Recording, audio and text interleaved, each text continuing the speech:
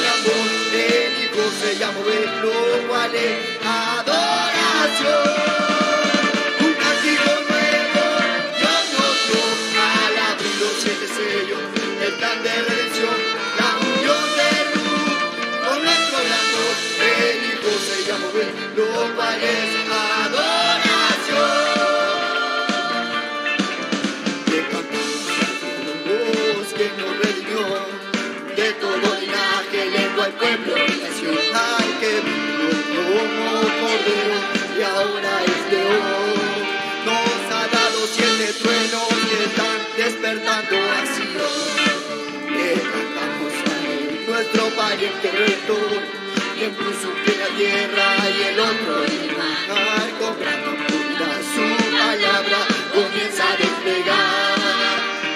Luz está en el campo y no se cansa de espigar. Un cantito nuevo, Dios nos dio, al abrir siete sellos, el plan de redención, la unión de nuestro lazo de se Yahweh, no falles adoración. Un cántico nuevo, alabando los siete sellos, el plan de redención, la unión de luz con nuestro lazo de se Yahweh, no falles adoración. Le cantamos al poderoso conquistador de una multitud cayó por los diez espías, decían a gigantes en Cana. Pero Caleb le repetía, subamos a nuestra heredad. Le cantamos a él, Jehová es nuestro proveedor, el que proveyó un cordero.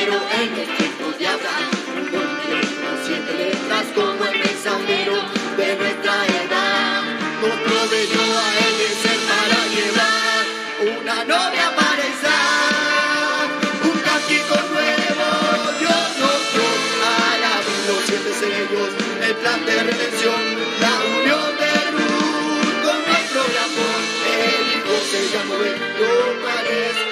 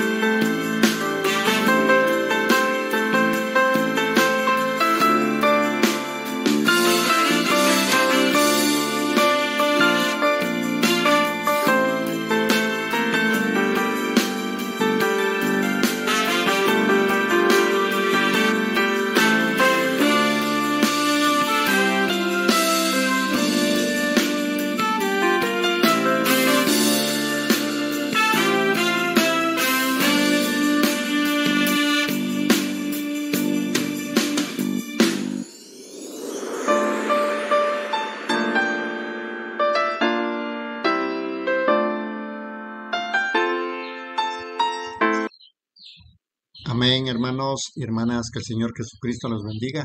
Vamos a dar inicio a este glorioso compañerismo y vamos a pedirle la dirección de nuestro Padre Celestial que nos guíe en esta tarde la lectura de estos mensajes de nuestro profeta Elías.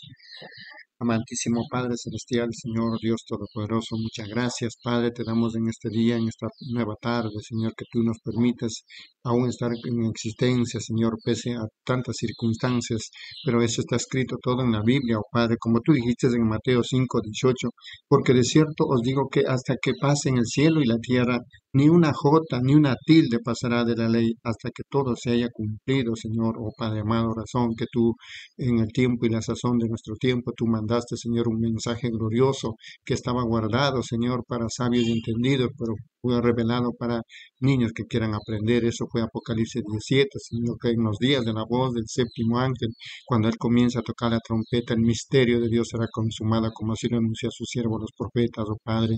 Oh Señor Dios todo por eso razón que este mensaje glorioso dio la vuelta en todo el mundo como siete veces, Señor. Por eso que tú dijiste en Abacú 2.14, porque la tierra será llena del conocimiento de la gloria de Jehová, como las aguas cubren el mar, oh Padre amado.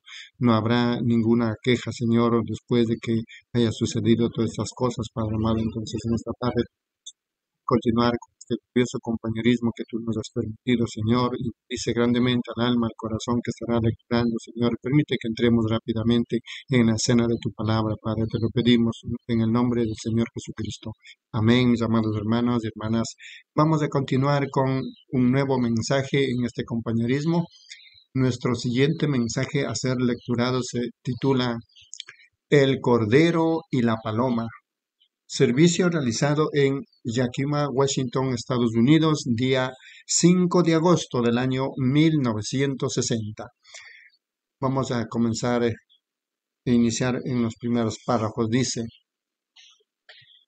Bondadoso Señor, estamos agradecidos de venir ante ti otra vez esta noche, con acción de gracias en nuestro corazón por lo que sabemos que tú has hecho y por la fe para creer que tú continuarás haciendo por nosotros lo excesivamente y abundantemente. Te doy gracias por lo que fue anclado en mi corazón en ese cuarto destinado para las emergencias ahorita, para que esa pobre gente enferma y moribunda. Yo creo que tú detuviste la muerte hace unos momentos, Señor. Yo estoy contento por eso. Dios, te pido que tú detengas la muerte y la enfermedad en este edificio, en esta noche, en todas partes. Que no haya ni un débil en nuestros medios al terminar el servicio. Danos la victoria, Padre. Bendice a tu pueblo en todas partes. Bendice a los ministros, tus pastores de la manada. Pedimos que tú animes sus corazones en gran manera para seguir adelante, Señor, predicando la manifestación total del Espíritu. Concédelo, Señor. Bendice a toda iglesia y a toda persona. Date gloria a ti mismo. Aquí están muchas pequeñas porciones de tela. Puestas aquí, Padre, son pañuelos y pequeñas porciones de tela que ellos han puesto aquí para que se ore sobre ellos. Somos enseñados en la Biblia que, que ellos tomaban del cuerpo de San Pablo pañuelos y delantales y los espíritus malos salían de la gente y ellos eran sanados de enfermedades. Y nosotros no somos San Pablo, pero tú todavía eres Jesús y, te pido, Padre, que así como la gente tuvo fe para hacer esto, que tú nos des fe para creer que sus, sus peticiones serán contestadas, que toda enfermedad que esos pañuelos representan, que huya de la persona tan pronto como el pañuelo sea puesto sobre ellos. Salva a los perdidos en esta noche, Padre. Sana a los enfermos. Date gloria a ti mismo porque la pedimos en el nombre de Jesús. Amén. Se pueden tomar asiento. Se pueden sentar. Párrafo 3. Estamos verdaderamente muy contentos de estar de nuevo en el edificio en esta noche con nuestro hermano y con ustedes aquí en, por causa del reino de Dios. Estoy confiando en esta noche que tendremos una gran victoria en esta noche. Yo siento de que de alguna manera la tendremos. Y yo, nosotros disfrutamos de unos momentos hermosos anoche el poder del Espíritu Santo. Oh, yo sencillamente me lleno de regocijo. Oh, casi no pude dormir después que llegué a casa, solo de pensar en la presencia del Señor, solo derrotando al enemigo, trayendo la victoria y viendo a la gente yendo para buscar el bautismo del Espíritu Santo y grandes cosas ocurriendo, la gloria de Dios sobre la gente. Eso me da ánimo a mí Párrafo 4. Saben ustedes, yo solía pastorear la primera iglesia bautista en Milton, Indiana. Yo me alojaba en algunas, yo me alojaba con algunas personas allá en el campo. Cuando iba allá por mí, generalmente era como una gira. Y yo llevaba a cabo un avivamiento y me solía alojar con algunas personas cuyo nombre era Gray. Y yo siempre me asombraba. Yo no sé si ustedes los tienen aquí o no, el ruiseñor o pájaro sinsonte. Y nuestra región está llena de ellos. Yo pensaba que me seguían por todos los Estados Unidos. A donde quiera que yo voy, ellos están allí. Yo salgo a cortar el césped en mi patio. Bueno, yo prendo la radio, la cual es del ruiseñor, y los pájaros sinsontes, y todos los pájaros cantando. Yo, yo pienso que son la radio de Dios. Es lo mejor que alguna vez he oído en mi vida, es oír a los pájaros. Párrafo 5 y la mayoría de los muchachos les arrojan piedras a los pájaros, pero me imagino que estos dos sentados aquí en el asiento de enfrente no les arrojarían piedras a los pájaros. No, señor, y están seguros que no arrojarles piedras a mis pequeños petirrojos. Ven, el petirrojo es mi pájaro. ¿Lo han visto ustedes con el pecho rojo? ¿Saben ustedes cómo su pecho se volvió rojo? Les voy a decir para que ustedes no le arrojen piedras. Un día hubo un hombre muriéndose en la cruz todos los habían desamparado. Sus manos estaban clavadas en la cruz. Las lágrimas saladas y la sangre le corrían por su rostro como hilos le corrían por todo su cuerpo. Y él estaba clavado allí. Y un pajarito, un pajarito café, sintió mucha lástima por él. Él continuaba volando sobre sus manos y tratando de sacar los clavos y volando sobre sus pies y tratando de sacar los clavos. ¿Saben ustedes lo que sucedió? Él se manchó su pechito todo de rojo con la sangre y desde entonces él ha tenido su pecho rojo. No le querrán ustedes arrojarle piedras a él, ¿verdad? No, no. Párrafo 6. Y yo espero que también cuando yo lo vaya a encontrar a él, que mi pecho esté también cubierto de sangre al tratar de sacarle a los clavos. Yo pienso que todos nos sentimos de esa manera, ¿no es así? La congregación dice amén. Fueron mis pecados los que lo pusieron a él allí, Quisiera que yo hubiera tenido alguna manera que se los pudiera haber sacado, pero él tenía que morir por mí. Estos ruiseñores estaban allá afuera y cantaban en la noche, y mientras yo entraba estudiaba el ruiseñor. A mí me gusta estudiar la naturaleza, como ustedes saben, yo amo la naturaleza. Y yo estaba estudiando sobre el ruiseñor algunas veces en una noche verdaderamente tormentosa, Él está parado allá afuera y se mantiene mirando hacia arriba. Y tan pronto como Él puede ver que las nubes negras pasan, si Él puede fijar sus ojos en una sola estrellita, Él empieza a cantar, porque Él sabe que el sol está brillando en alguna parte, está reflejando al sol, la estrella, la luna y lo demás lo está reflejando. Así que mientras yo pueda mirar una buena reunión como la de anoche, yo puedo seguir cantando, porque yo sé que el sol está brillando en alguna parte al verlo reflejar la gloria de Dios en la tierra. Párrafo 7. Ahora, ustedes que tienen sus Biblias y les gustaría leer conmigo, abramos en San Juan el capítulo 1.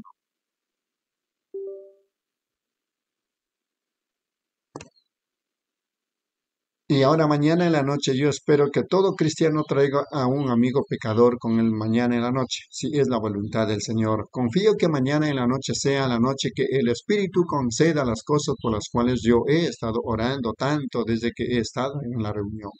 Y luego el domingo en la tarde vamos a, vamos a tener esta campaña. Yo diré que han sido unos momentos grandiosos para mí unos momentos maravillosos. Yo siempre he disfrutado esta estancia por la cual he esperado tanto tiempo para venir a Yakima.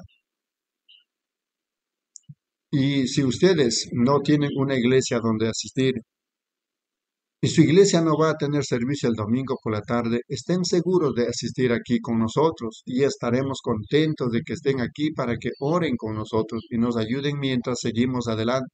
La presencia de ustedes significa muchísimo para nosotros y entonces ustedes estarán aquí para orar y para ayudarnos con otros.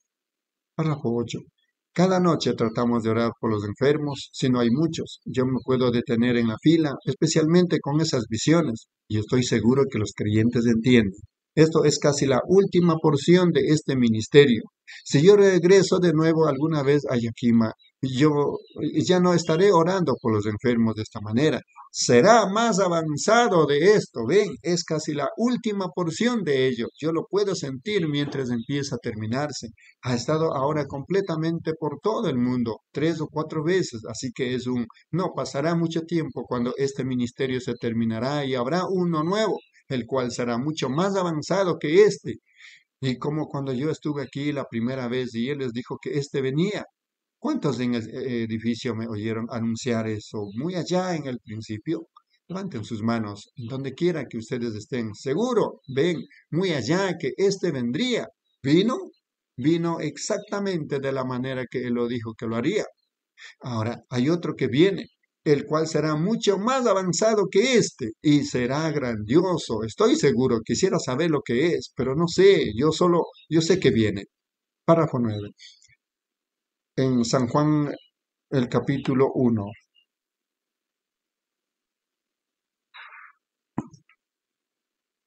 Y empecemos en el versículo 29 para leer solo una porción para un de la cual sacar un texto.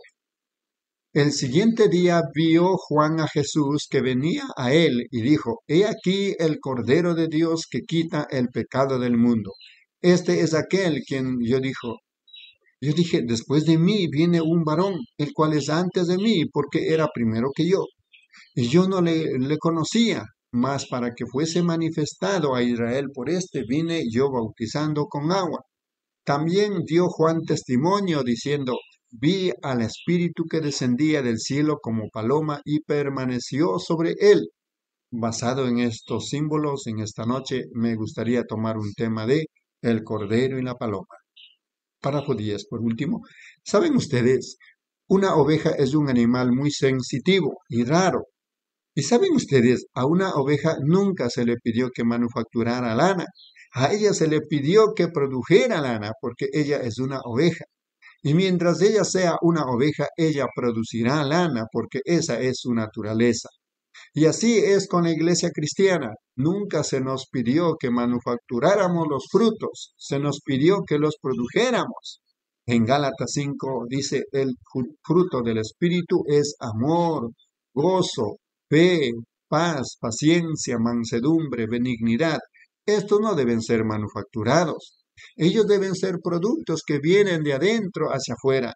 La vida exterior que vivimos prueba lo que está afuera, adentro.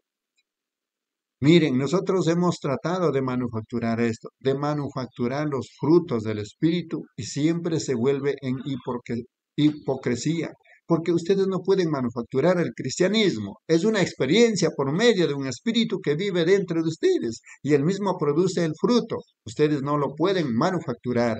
Nosotros hemos tratado de producirlos por educación y por la denominación y cuando lo hacemos se vuelven hipocresía y, y falla. No se debe hacer de esa manera, se debe hacer como Dios lo intentó para que, se, que fuera hecho, el Espíritu dentro de nosotros produciendo frutos de su presencia. Ese es el programa de Dios. Nunca puede ser cambiado. Amén, mis amados hermanos y hermanas, el Señor Jesucristo los bendiga a todos. Estamos lecturando este nuevo mensaje titulado El Cordero y la Paloma servicio realizado en Yakima, Washington, Estados Unidos, día 5 de agosto del año 1960. Continuamos con la lectura, hermana Reina, en los párrafos 11 al 20. Amén. Dios le bendiga, hermanos y hermanas. Continuando con la lectura del mensaje, el Cordero y la Paloma. Párrafo 11. Y este es, y este en esta noche es un texto muy fuera de lo común, pero Dios está en lo fuera de lo común y Él hace las cosas de una manera fuera de lo común, en un tiempo fuera de lo común, con gente fuera de lo común. Él está completamente en lo fuera de lo común. Y yo pienso que este es uno de los ejemplos más sobresalientes de todas las escrituras cuando le plació tanto a Dios que cuando Él quiso simbolizar a su Hijo en la tierra, lo llamó un cordero. El cordero de Dios que quita el pecado del mundo. Y luego, cuando él, cuando el Dios, cuando él, Dios, él mismo se iba a simbolizar, él fue representado por una paloma. Ahora, si ustedes se fijan, de todas las criaturas que caminan por la tierra, no hay nada tan manso y dócil como un cordero. No hay nada tan inocente como un cordero. Es manso, dócil. Y tocante a la paloma, no hay ave que vuela en el aire de los cielos tan mansa y dócil como la paloma. Es la ave más sensitiva de todas las aves. Y el cordero es el más sensitivo de todos los animales. 12. Por lo tanto, si ustedes se fijan, el cordero y la paloma tienen espíritus iguales y naturalezas iguales. Si no hubiera sido de esa manera, si hubiera sido un, cuervo que se posó sobre el cordero, el cordero no hubiera podido soportar eso. Y si la paloma se hubiera posado en un lobo, la paloma no lo hubiera podido soportar. Sus naturalezas no son iguales, así que tenía que ser un cordero y un lobo. O mejor dicho, un cordero y una paloma simbolizados juntos, Dios y su Hijo, para que ellos pudieran vivir juntos. 13. Ahora, yo con frecuencia me he preguntado, ¿por qué Dios nos representó como corderos? Nosotros somos las ovejas de su prado. Si ustedes se fijan, un cordero es uno de los animales más fuera de lo común. Ese cordero no puede encontrar su camino de regreso cuando está perdido. Yo he criado ovejas y cuando una oveja se pierde, ella se queda allí y bala hasta que se muere. Ella no puede encontrar su camino de regreso. Ella tiene que depender que el pastor la guíe de regreso. Y nosotros nunca encontraremos nuestro camino de regreso de ninguna otra manera, sino por medio del pastor. La raza humana perdida necesita ser traída de regreso por medio del pastor. Nosotros no podemos encontrar el camino de regreso por medio de programas educacionales. Nosotros no pudiéramos encontrar nuestro camino de regreso por medio de la ciencia. No pudiéramos encontrar nuestro camino de regreso por medio de religiones. Únicamente hay una sola manera para regresar y esa es por el pastor. 14. La paloma, ella es una ave muy fuera de lo común. Una paloma es la única ave que sabemos que no tiene hiel. Una paloma no tiene hiel en lo absoluto. Todas las otras aves tienen hiel, pero ella no tiene hiel. Así que en la paloma no hay amargura. Y en Dios no hay amargura y en el que la paloma vive y guía no hay amargura. Ahora, la paloma, la razón que ella está hecha de esa manera es debido a su dieta. Ahora, ella no pudiera comer las cosas que un buitre come porque la mataría inmediatamente. Y otra cosa de la cual me gustaría hablar tocante a la paloma, aquí mismo, es que una paloma es una de las aves más limpias que hay que, que vuelan en los cielos. No hay nada tan limpio como una paloma. Y ella no se tiene que preocupar al respecto. Su cuerpo produce un aceite que va hacia sus plumas y constantemente la mantiene limpia. Oh, qué símbolo de que el creyente tiene el aceite del Espíritu Santo que vive dentro de él mantiene sus plumas limpias. El polvo y cosas no le molestan a una paloma. Su cuerpecito está aceitoso y la mantiene libre de polvo y cosas. Constantemente fluye y mientras ella vuela, el polvo vuela de ella. no se le puede pegar, porque ese cierto aceite proviene de él para ese propósito. Y la tierra no se le puede pegar a ella. ¡Qué símbolo! Oh Dios, llena mi lámpara esta noche con esa clase de aceite, para que el mundo con todos sus placeres y sus riquezas y su grande encanto no se nos pegue, que seamos capaces de echarlo de nosotros por medio de un aceite que proviene del interior, obrando hacia afuera para mantener la iglesia limpia. 15. Como la antigua alabanza solía decir, dame aceite en mi lámpara, manténme brillando. Dios vierte aceite santo adentro. El aceite en la Biblia representa el Espíritu manteniendo a la iglesia limpia. Y sin embargo, una paloma es una ave. Ella es una, solo es una ave. Y la paloma está representada por toda la Biblia, desde Génesis a Apocalipsis. Yo he estudiado muchísimo esa ave. En nuestro estado y en la mayoría de los estados de los Estados Unidos, ella es una ave sagrada. A nosotros se nos prohíbe cazarla, pero en algunos estados sí se les permite cazarla. Yo nunca podría matar una, pero ella es una ave sagrada en nuestro estado. Ellos le dan a uno una multa de 100 dólares tan pronto como uno mata una. Ella es una ave sagrada. 16. Ahora, en el arca, la paloma y el cuervo se sentaron en la misma percha. Ambos de ellos eran aves. Una podía volar a donde la otra volaba. Una podía hacer todo lo que la otra podía hacer. Pero cuando ellas fueron soltadas para que ellas tomaran su elección, ellos primero soltaron a la paloma y la palomita voló por donde quiera y la Biblia dice que ella no halló dónde sentar la planta de su pie. Cada vez que ella podía hallar algo en lo cual sentar su pie, era un cuerpo muerto, algo viejo y muerto del mundo. Y ella no podía posarse en eso. Bueno, eso era en contra de su naturaleza. Y si un hombre de la paloma en él, yo no, no se iría que algo le pudiera suceder, que él se pudiera descarriar en alguna parte. Pero si él verdaderamente tiene ese espíritu de paloma, él no hallará descanso para el alma que está en él.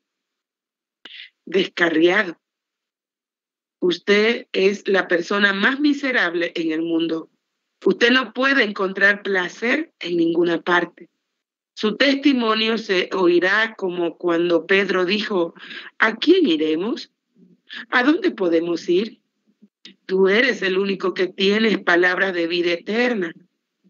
Y un verdadero cristiano nacido de nuevo, algunas veces se pudiera enojar por algo que se hizo en la iglesia. Eso envenenará su sistema. Pero si él es una verdadera paloma, él regresará. Tan seguro como Dios está en el cielo, él lo hará, porque hay algo en él que no lo dejará posarse en esos cuerpos viejos y muertos de fiestas de rock and roll o garitos. Esas cosas simplemente apestan para él, para cualquier cristiano nacido de nuevo. Él simplemente no lo puede soportar porque él no tiene hiel para digerir tal cosa. 17. Sí, pero cuando soltaron al cuervo, oh, él estaba tan feliz como podía estar, volando de un cuerpo muerto al otro y comiendo hasta llenar su estómago. De esa manera lo hacen los cuervos. Y un cuervo es un hipócrita. Yo estoy contento que ustedes lo pueden cazar en toda temporada, en todas partes. Y él es una ave horrible. Tiene larga vida, pero él se puede posar en un cuerpo muerto y comer tanto como él quiera, y volar al campo y comer trigo con la paloma. Pero la paloma, comiendo trigo, no puede volar y comer con él. Así que Los hipócritas pueden ir a la iglesia y gritar y alborotarse y poner su nombre en el libro y salir y disfrutar de los juegos de baraja, de beber, de fumar, de danzar, de rock and roll y todas esas cosas y regresar a la iglesia y comer comida de la iglesia. 18. Yo me pregunté de eso en una ocasión. Yo vi una visión. Fue hecho manifiesto cómo es que ese un hombre salió sembrando trigo. Cuando él durmió, bueno, entonces el enemigo salió y sembró cizaña, lo cual es escritural. Y cuando el trigo salió y él se maduró, la hierba también se había madurado, la cizaña. Y cuando vino una sequía, y cuando vino la sequía, todos estaban orando por lluvia. Y vino una grande nube negra, y llovió, y el triguito tenía su cabeza inclinada de esta manera. Irguió su cabecita y empezó a decir, Oh, gloria a Dios, alabado sea el Señor por enviar la lluvia. Y la hierbita saltó igual que el trigo saltó y dijo, Gloria a Dios, aleluya, por enviar la lluvia. Yo dije, bueno, yo no sé qué pensar. Entonces al verlos otra vez, vi que la lluvia cae sobre el justo y el injusto. La lluvia fue enviada para el trigo, pero la cizaña, siendo que estaba allí, recibió el beneficio de ello, de la misma lluvia. Pero por sus frutos los conoceréis, dijo Jesús. No es cuánto nos unamos a la iglesia y cuán leales seamos a eso, esto o lo otro. Es el fruto del Espíritu que cuenta, que le dice al hombre o a la mujer lo que ellos son. Es algo dentro de ellos, no manufacturado, sino que ellos lo están produciendo.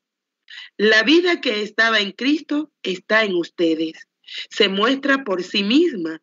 Jesús dijo, estas señales seguirán a los que, que creen, no algo manufacturado, educado por teologías, sino un espíritu del Espíritu Santo en el corazón humano, produciendo los frutos y las evidencias de su resurrección y su, su poder viviente.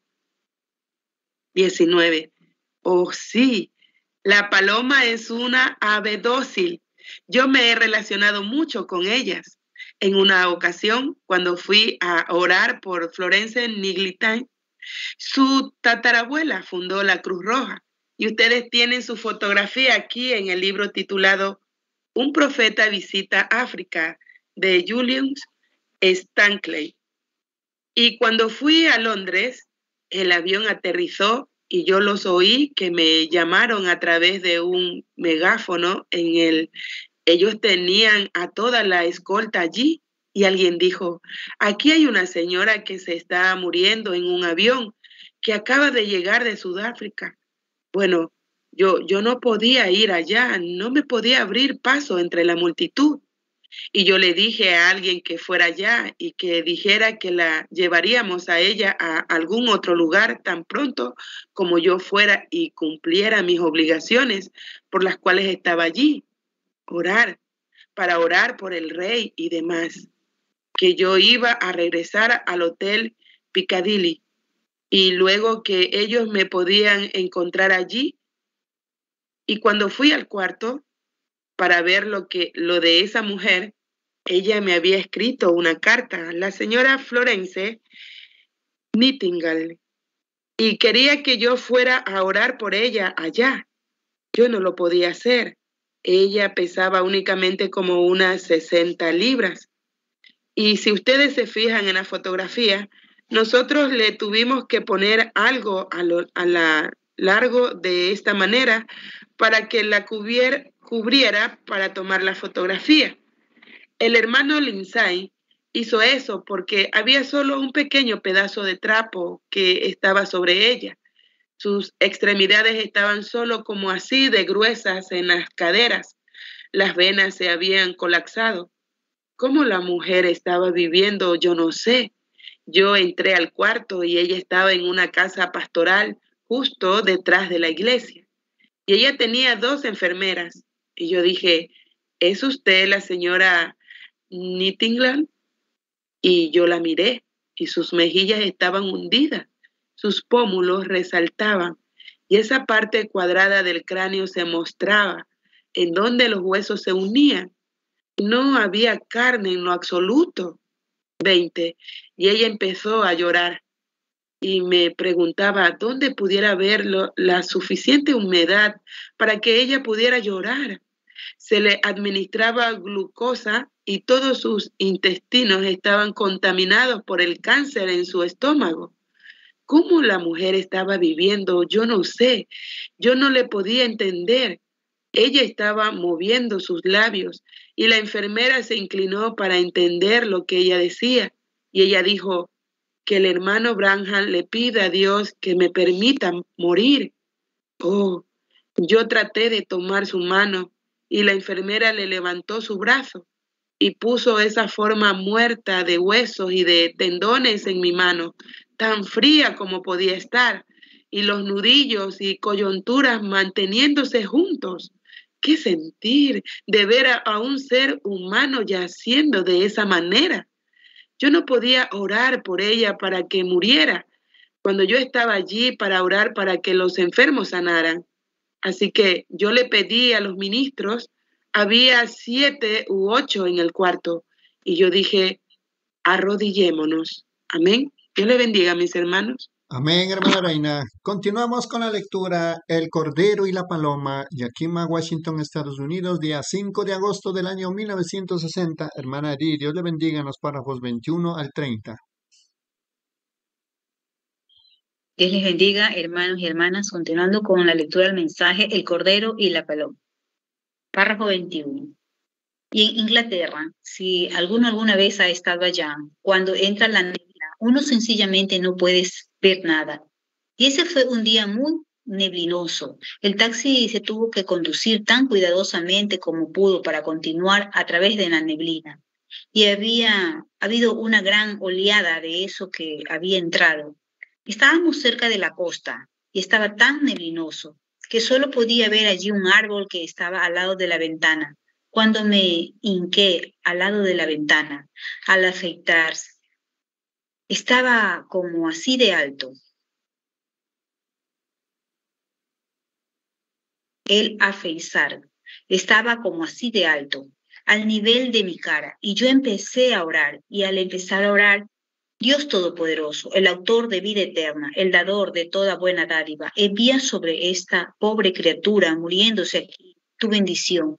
Y justo al empezar a orar, una palomita entró volando de alguna parte, se posó en ese alfeizar y comenzó a caminar de un extremo al otro, arrullando como a un pie, 30 centímetros, de distancia de mi cara, de donde yo estaba orando. Y yo pensé que era una paloma domesticada de allá de la casa. Yo solo había estado en Inglaterra, como por unas cuatro o cinco horas, y pensé que quizás era solo una paloma domesticada de la casa, ella caminó de aquí para allá y de un extremo al otro de ese alfeizar. Y luego, cuando finalmente terminé de orar y dije amén, y me levanté, la palomita voló. Y yo iba a decir, ¿era esa una paloma domesticada? Y los ministros estaban hablando de qué estaba haciendo allí esa paloma. Bueno, yo dije, ¿no es una paloma domesticada? Y ellos dijeron, no, ellos nunca antes la habían visto. Y yo volteé para mirar a la mujer y allí parada delante de mí estaba una mujer fuerte y saludable. Yo dije, así dice el Señor, usted vivirá y no morirá. Volteen a la página siguiente en el libro y mírenla a ella, un año después. Ella está trabajando ahora como enfermera en Inglaterra, fuerte y saludable. Dios, en la forma de una paloma, se posó en la ventana, envió a su mensajero 22. Ustedes saben la historia de mi niñita. Cuando mi esposa y ella murieron, todas las tardes yo iba allá a la sepultura y pasaba mucho tiempo. Y me sentaba allí, o yo con mucha dificultad lo podía aceptar. Yo él, era un jovencito, y toda mi familia se había ido. Solo Billy y yo quedamos. Y yo no, yo iba allá y me sentaba en la sepultura. Y todas las tardes, de seguro al llegar las cinco de la Ahí llegaba una tórtola volando por el arbusto. Se posaba en uno de esos cedros allí y solo hacía cu, cu y cantaba. Yo levantaba mis manos y alababa al Señor y sonaba como que el viento descendiendo por esos arbustos cantaba. Hay una tierra más allá del río, a la cual le llaman el dulce más allá, y únicamente alcanzamos esa ribera por medio de la fe. Uno por uno pasamos por los portales para morar allí con los inmortales. Algún día ellos sonarán esas campanas de oro por ti y por mí. La palomita arrullada. Yo primero pensé que era el alma inmortal de, mi niñita. Pero si hubiera sido, ella hubiera venido y hubiera hablado conmigo. Pero la paloma, Dios mismo se representó como una paloma. 23. Miren, el Miren, la paloma produce un aceite para que ella misma se mantenga limpia. El cordero tiene la lanolina para protegerse del clima. Y nosotros somos comparados a corderos de Dios. Yo quiero que ustedes se fijen qué clase de cordero era este. Este cordero, un cordero tiene que ser guiado. Y este precioso cordero del cual estamos pensando, él fue guiado. No se haga mi voluntad, sino la tuya guiado al matadero. Algunas veces ellos, alguien dijo, porque Jesús fue guiado al Calvario. Ustedes saben que la Biblia dice que ellos lo guiaron a él, le pusieron una soga en el cuello y lo guiaron. ¿Por qué? Él era el Cordero de Dios. porque nació un pesebre? Porque él era un cordero. Tuvo que nacer en el establo. Él era un cordero. Nació un cordero y fue guiado al matadero. 24. ¿Han ido ustedes alguna vez a un corral del matadero? Cuando van a matar ovejas, guía al tajo del matadero? Un chivo. Ellos tienen un chivo allí que guía a esas ovejas hasta que llegan a un cierto lugar y luego él salta de allí y deja que las ovejas entren. Así es como siempre ha sido. Eso es lo que lo guió a él, a su matadero, el chivo. Y bueno, los carniceros me han dicho, los que las matan, me dijeron que cuando llegaba el momento que ellos tenían que matar al chivo, él entonces verdaderamente pataleaba y hacía un berrinche. Pero siempre quiere guiar a las ovejas al matadero. De esa manera el diablo lo hace. Él siempre está tratando de guiar al pueblo de Dios al matadero, a los burdeles, a los clubes nocturnos, alguna parte. 25. Quiero que ustedes se fijen, no únicamente eso, sino que él era un cordero dispuesto, un cordero dispuesto. Un cordero solo tiene una sola cosa, y esa es su piel, su lana en él. Pero él, él es un cordero dispuesto. Todo lo que él tiene está dispuesto a ceder eso. Él cede su lana. Esa es la única cosa que él tiene. Pero sin embargo, por causa de ustedes y por causa mía, él cede lo que él tiene. Ahora, si nosotros mismos nos llamamos corderos, corderos de Dios, estamos dispuestos a ceder nuestras ideas para seguir a Dios. Nosotros estamos dispuestos a hacerlo, pero oh, nosotros americanos no podemos ser guiados. No, oh Señor, nosotros fuimos a la escuela y aprendimos cómo guiar. Nosotros no podemos ser guiados. Nosotros aprendimos nuestro PhD y doble LD y lo demás, y sabemos todo al respecto, y sabemos cómo guiar, así que la paloma no nos puede guiar. Cuando tenemos esa clase de actitud, bueno, no podemos ser guiados, nosotros tenemos que guiar a la gente, pero Dios tiene un solo líder de su, para su iglesia, y ese es la paloma. El Espíritu Santo es el líder del pueblo de Dios, el líder. 26. Pero cuando llegamos a saber tanto, sabemos tanta teología, entonces el Cordero no puede guiarnos porque es contra nuestras ideas. Sencillamente no lo toleraremos. Ustedes tienen que ceder su idea. La gente dice, ah, los días de los milagros ya pasaron. Nosotros aprendimos eso en la escuela. Bueno, nosotros sabemos que, que, no hay tal cosa como sanidad divina. No hay Espíritu Santo, como el que la gente pentecostal dice que ella tiene. Esos días ya pasaron. Yo aprendí eso en la. ¿Cómo Dios los va a guiar entonces? Si ustedes creen en tal cosa como esa, ¿cómo Dios lo va a sanar? Cuando ustedes piensan que los días de los milagros ya pasaron, Él sencillamente no lo puede hacer. 27. Así que entonces seguimos y decimos, bueno, si nosotros tenemos iglesias y tenemos grandes organizaciones y denominaciones, pero todos teniendo una forma de piedad, pero negando la paloma, la paloma que nos guía. Nosotros tenemos nuestras religiones y tenemos nuestras ideas y no queremos que nada se mezcle con, eso. Ellos a mí no me importa lo que dice la Biblia. Gente que me ha dicho eso muchas veces. Un hombre no hace mucho tiempo estuvo allí y me dijo, dijo, a mí no me importa cuántas sanidades tú hicieras, yo todavía no lo creo. Yo dije, seguro, no fue para fue para creyentes, únicamente fue para ellos, para los que lo creen. Nunca fue destinado para incrédulos. Y Dios únicamente puede guiar a un hombre mientras lo deje a él guiar. Dios únicamente puede obrar con alguien que lo deje a él obrar con él.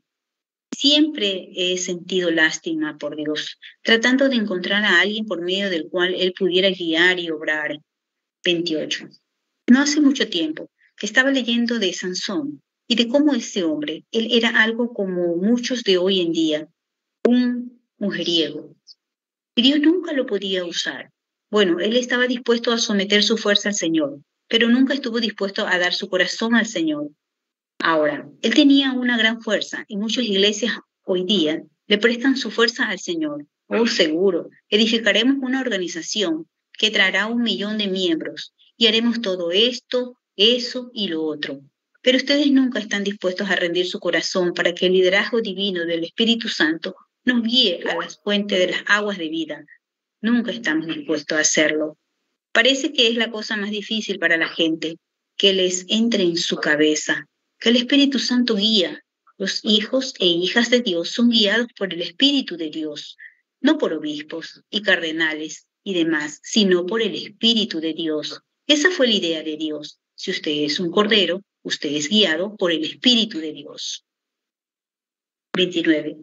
Pero algunas veces me pregunto, en medio de todo eso, si Dios nos pudiera guiar, me pregunto si nosotros no nos hemos vuelto chivos en lugar de ovejas. La paloma no pudiera guiar a un chivo. Él no puede permitir ser guiado. No, no. Él quiere guiar. El chivo guiará, pero usted no lo puede guiar a él.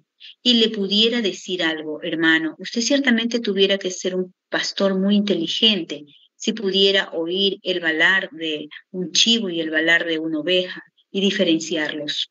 Ambos se oyen casi igual, y la Biblia dice que el diablo en los últimos días aquí sería tan astuto que engañaría a los escogidos si fuere posible. ¿Con cuánta astucia entra Satanás? Solo observen lo que se está preparando para acontecer ahora en los últimos días. Observen estas elecciones y cosas que acontecerán. Observen cómo Satanás dará a alguien. Tratará de dar a alguien gato por liebre, él lo intentó antes y falló. Él intentará hasta que tenga éxito en hacerlo. Él lo hará. Sí, Señor, Él lo hará. 30. Y recuerden ustedes que yo predije eso en 1933.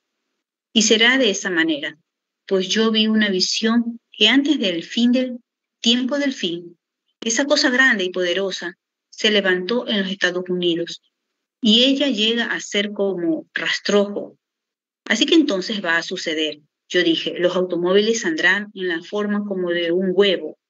Ustedes saben cómo se miraba un automóvil del año 33. Y yo dije, aún irán viajando en la carretera y ni siquiera tendrán que ser conducidos. Ellos ya sacaron uno. Yo lo vi aquí no hace mucho tiempo. Serán controlados por algo electrónico o por medio de un poste magnético para reducir su velocidad y demás, y para aumentar su velocidad. Ellos no pueden chocar uno con el otro y demás. Y tengo escrito eso en un libro desde 1933. Y será de esa manera. Estamos llegando a esa hora. Estamos justamente en medio de eso. Porque el Espíritu Santo es el que guía la iglesia y nos advierte de los peligros que vienen. Amén. Dios le bendiga. Amén, hermana Edith. Dios le bendiga. Continuamos con la lectura El Cordero y la Paloma, Yakima, Washington, Estados Unidos, del día 5 de agosto del año 1960. Voy a continuar en los párrafos 31. Dice, ahora encontramos en nuestras iglesias hoy en día las cosas que están sucediendo. Ahora, solía ser hace mucho tiempo. Miren, no se enojen ahora conmigo. Yo les quiero mostrar a ustedes. Ahora, estamos hablando tocante a lo que está en las denominaciones, pero ahora vamos a llegar a casa, a los pentecostales. Solo un momento. Nos vamos a preguntar, ¿qué es lo que ha sucedido con nuestra gente pentecostal? Ustedes saben, solía ser una cosa horrible que nuestras mujeres se cortaran su cabello. Solía ser horrible. Yo recuerdo eso y yo únicamente he estado con ellos solo unos cuantos años. Pero ahora Está bien que se corten su cabello, pero la Biblia dice que el cabello en una mujer es una es para su gloria. Y la Biblia dice que si una mujer se corta su cabello, ella deshonra su cabeza, la cual es su esposo. Y si ella se corta su cabello, entonces su esposo tiene el derecho de divorciar a esa mujer deshonrosa. Esa es la enseñanza de Pablo en Corintios. Ustedes argumenten con él. Miren, yo sé que eso duele. 32.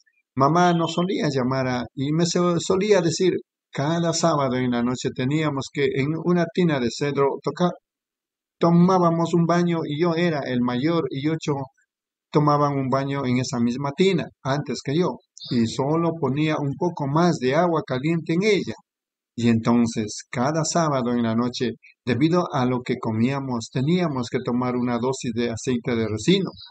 Y no lo puedo soportar hasta el día de hoy y me acercaba a ella sintiendo náuseas y apretando mi nariz y decía, mamá, no puedo soportar esa cosa. Ella decía, si no hace que te sientas muy mal, no te hace ningún bien. Y de esa manera es el predicar el Evangelio. Si, nos, si no los enferma un poquito, si no les hace algo a ustedes, no les hace ningún bien, pero esa es la verdad. Muchas de nuestras mujeres pentecostales han llegado al punto que están usando esa ropita para ir a cortar el cesto de patio de enfrente y cosas.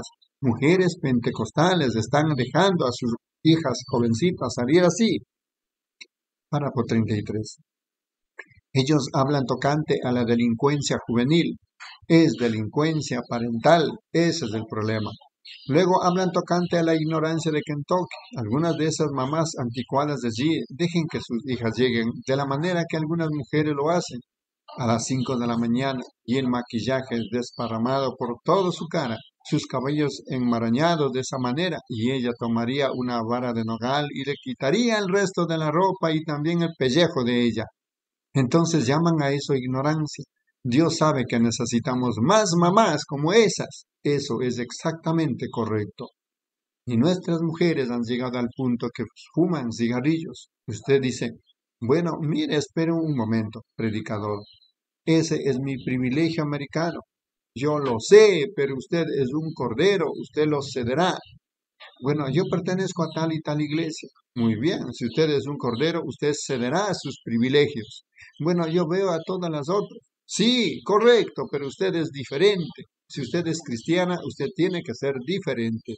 Una mujer dijo, yo no uso pantaloncitos cortos, yo uso pantalones. Yo dije, eso es peor. Correcto. La Biblia dice que es una abominación que una mujer use ropa de hombre. 34. Yo hablé sobre eso en una de las reuniones y una mujer me escribió una carta muy extensa. Ella dijo, mire, espere. Dijo, usted se está basando en una doctrina hecha de hombre. Dijo, ¿qué va a hacer una mujer cuando ella está allá montada en un caballo en una área infestada de mosquitos juntando el ganado? Yo solo le contesté, yo dije, eso no es el trabajo de una mujer. Si ella se mantuviera en su lugar, no tendría que estar allá. Eso es exactamente correcto, exactamente. El problema de eso ahora, yo amo a nuestras hermanas y eso es correcto. Yo pienso que son finas, pero deberían reconocer su lugar. 35. Y ustedes saben, yo recuerdo cuando solía hacer una cosa horrible de nuestras mujeres pentecostales se pusieran una manicure. Una, saben, en su cara, me equivoqué en esa palabra, siempre me equivoco. ¿Qué? maquillaje, maquillaje. La manicure es eh, referente a las uñas. ¿Es correcto eso? Yo no sé nada respecto a esas cosas, pero el maquillaje solía estar mal para una mujer usar maquillaje, pero ahora ellos lo hacen. Párrafo 36. Como ustedes saben, un anciano ministro metodista solía cantar una alabanza. Dejamos caer las trancas, dejamos caer las trancas, nos comprometimos con el pecado, dejamos caer las trancas y las ovejas se salieron. Pero ¿cómo entraron los chivos? Ustedes dejaron caer las trancas. Muchas veces, no estamos, eh, no estos hermanos, pero muchas veces los predicadores piensan más de un vale de comida que lo que ellos piensan del Evangelio. Un evangelista sale, qué lástima, un evangelista me dijo, un, un evangelista notable me dijo el otro día, dijo, usted va a arruinar su ministerio. Yo dije, ¿cuál? Cualquier cosa que arruine. Si mi ministerio es arruinado por predicar la verdad, debería ser arruinado. Eso es correcto. Él dijo, usted hará que la gente se enoje y ellos no le darán nada. Yo dije, yo no les pedí nada a ellos. Yo dije, la cosa de esto es que en el día del juicio, allá es en donde yo voy a tener que responder. 37. Escuche, hermana, únicamente hubo una sola mujer en la Biblia que se haya pintado su cara, y ella no se la pintó para encontrarse con Dios, ella se la pintó para encontrarse con un hombre, y su nombre era Jezabel. ¿Correcto? ¿Sabe usted lo que Dios le hizo a ella? Él se la dio a los perros para que se la comieran. Así que si ustedes ven a una mujer toda pintada, ustedes le pueden decir, ¿cómo está usted, señora comida de perro? Eso es exactamente lo que ella es delante del Señor. Eso es exactamente. Bueno, usted dice, otras mujeres lo hacen, pero si usted es un cordero, cede todos sus derechos. Dios quiere que usted viva como una mujer, debería vivir como una dama, debería vivir. Está llegando a tal grado que en el tiempo de la guerra yo fui, yo era un guardián de casa y yo iba por el bosque y estaba allí, me senté allí con un hombre, él era un soldador y yo eran los chistes más sucios que yo he oído. Yo, yo aún estaba avergonzado de estar sentado allí con un montón de hombres. Y así que ese hombre me miró y él dijo, ¿está frío allá? Yo dije, sí, sí está. Dijo, ¿eres tú un guardián de casa? Yo dije, sí, señor, lo soy. Y me vino a dar cuenta que él, el que estaba sentado allí a mi lado era una mujer soldadora, con pantalones de trabajo puestos, grasosos, un par de gafas protectoras sobre su cabeza, recia, bebiendo como un hombre, fumando como un hombre, maldiciendo como un hombre. No fue el propósito de Dios que fuera de esa manera. Dios quiere que una mujer, párrafo 38, cuando Dios hizo primero al hombre, Él lo hizo ambos, varón y hembra en el espíritu. Él lo hizo a su propia imagen. Y Dios es espíritu. Cuando Él lo separó a Él y lo puso en carne, Él puso el espíritu masculino en un hombre y el espíritu femenino en una mujer. Y si algo es contrario a eso, hay algo de perversión allí. Eso es exactamente correcto. Cuando ustedes ven a una mujer tratando de actuar como un hombre, hay algo un poquito mal allí. Las células se cruzaron en alguna parte. Correcto. Cuando ustedes ven a un hombre tan afeminado que no quiere, no predica contra el pecado o nada contra eso, por no herir los sentimientos de alguien, hay un cruce también allí en alguna parte. No únicamente en su nacimiento natural, sino en su nacimiento espiritual.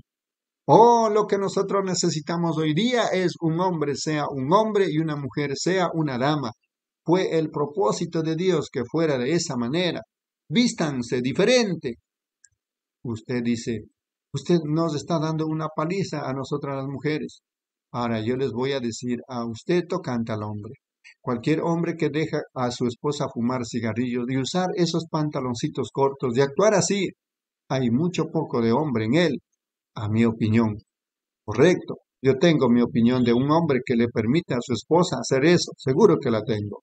Bueno, ¿cuál es el problema? Usted dice, bueno, hermano, esto es lo que es. Un hombre no es medido por su fuerza.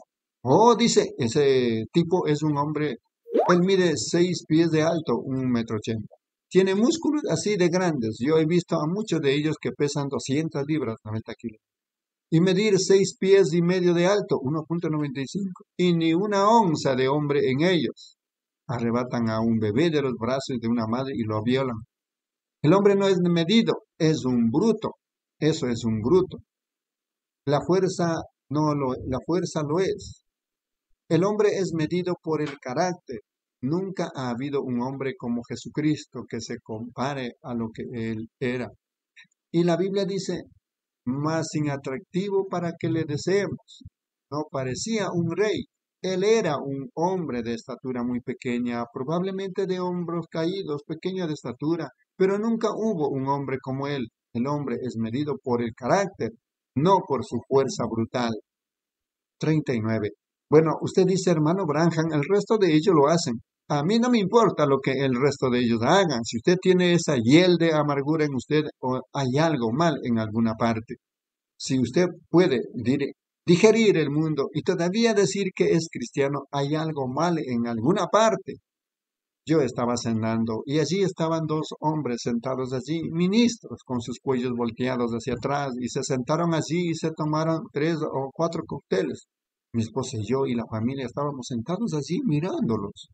Se dijeron unos pocos de chistecitos obscenos uno al otro. Terminaron de comer y sacaron un cigarrote así de grande. Se miraban como un novillo descornado de tejas sentados allí, fumando esa cosa.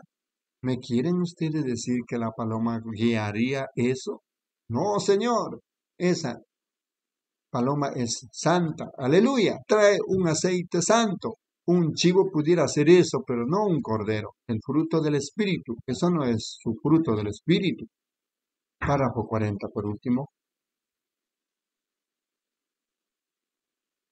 La gente va a los bailes de rock and roll. Bueno, nuestra asociación de hombres jóvenes cristianos lo respalda y enseña rock and roll. Muchos de nuestros grupos de iglesia usan el sótano o algo como eso, como un salón de recreación y enseñan a su gente rock and roll. Y la cosa salió del infierno. Es un baile africano. El pintarse la cara es una característica pagana. En África, yo soy un misionero, esa gente allá que nunca supo cuál era la mano derecha y la izquierda. Observen a esas mujeres cómo ellas se pintan en lado y todo con lodo y todo. Eso es exactamente correcto. Es paganismo, es el diablo y entra sigilosamente en nuestras iglesias. Y nosotros entonces nos llamamos a nosotros mismos los corderos de Dios. Déjenme decirles, nosotros necesitamos encontrar la paloma otra vez. Ahora, usted dice, bueno, eso está mal. Si usted predica eso en su iglesia, algunos de ellos dicen, oh, yo, yo nunca regresaré otra vez. Si bufamos como un lobo. ¿Qué hace un cordero? ¿Qué hace una paloma? Si ustedes bufan como un lobo, ella toma su vuelo. Amén. Continuamos con la lectura. Mensaje El Cordero y la Paloma, servicio realizado en Yakima, Washington, Estados Unidos, día 5 de agosto del año 1960. Hermana Reina, por favor, en los párrafos 41 al 50.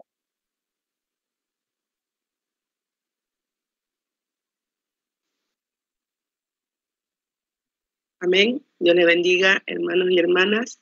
Continuando con la lectura del mensaje, el Cordero y la Paloma. Párrafo 41. Yo ya no escucharé más eso. Mi, mi pastor se está poniendo muy bueno. La paloma sencillamente vuela rápidamente. Eso es exactamente correcto. Ella no se quedará en donde hay mezcla con el mundo porque ella no puede soportar el olor de eso. Ella no puede soportar eso. Ella no puede comer eso. Ella no puede tolerar eso. Y cuando ustedes se empiezan a mezclar con el mundo, entonces la paloma toma su vuelo. Y cuando las iglesias empiezan a decir, los días de los milagros ya pasaron, no hay tal cosa como sanidad divina, todo eso debe ser algo mental. Ese es el diablo haciendo esos milagros y haciendo esas señales. Eso es del diablo. Solo recuerden ahorita mismo que la paloma toma su vuelo, porque la paloma se alimenta de comida de paloma. No solo de pan vivirá el hombre, sino de toda palabra que sale de la boca de Dios. Amén. 42. Ese es mi privilegio americano, hacer lo que yo quiero. Si yo quiero una bebidita social con el vecino, si yo quiero salir a esto y hacer eso, ese es mi privilegio. Correcto, es su privilegio. Ahora, si usted nació solo del Espíritu Nacional, usted lo seguirá haciendo. Si usted nació del Espíritu Celestial, ya no lo hará más, ¿correcto? Si la iglesia solo significa una denominación para usted, usted vivirá allí en la iglesia y seguirá de la misma manera y lo tolerará. Pero si usted tiene la naturaleza del cordero, usted no lo puede tolerar. ¿Se pudiera usted imaginar? Yo veo a un cordero allá en el campo comiendo alfalfa y él está allá comiendo alfalfa y aquí está un cerdo comiéndose un caballo muerto. ¿Se pudiera usted imaginar al, al cerdo decir, venga aquí, señor cordero, y cuando y coma un poquito conmigo? Bueno, el cordero no lo pudiera hacer si él lo tuviera que hacer. 43. Ahora, yo no culpo a los pecadores por hacer esas cosas. Ellos son cerdos de todas maneras. Eso no es nada. Yo solo los dejo que sigan adelante. Uno los ve allá bebiendo y haciendo escándalo y maldiciendo, diciendo chistes sucios y cosas obscenas y actuando mundanamente y diciendo, yo no creo en tal cosa como sanidad divina. Bueno, seguro, eso está bien. Él sencillamente es un cerdo de todas maneras.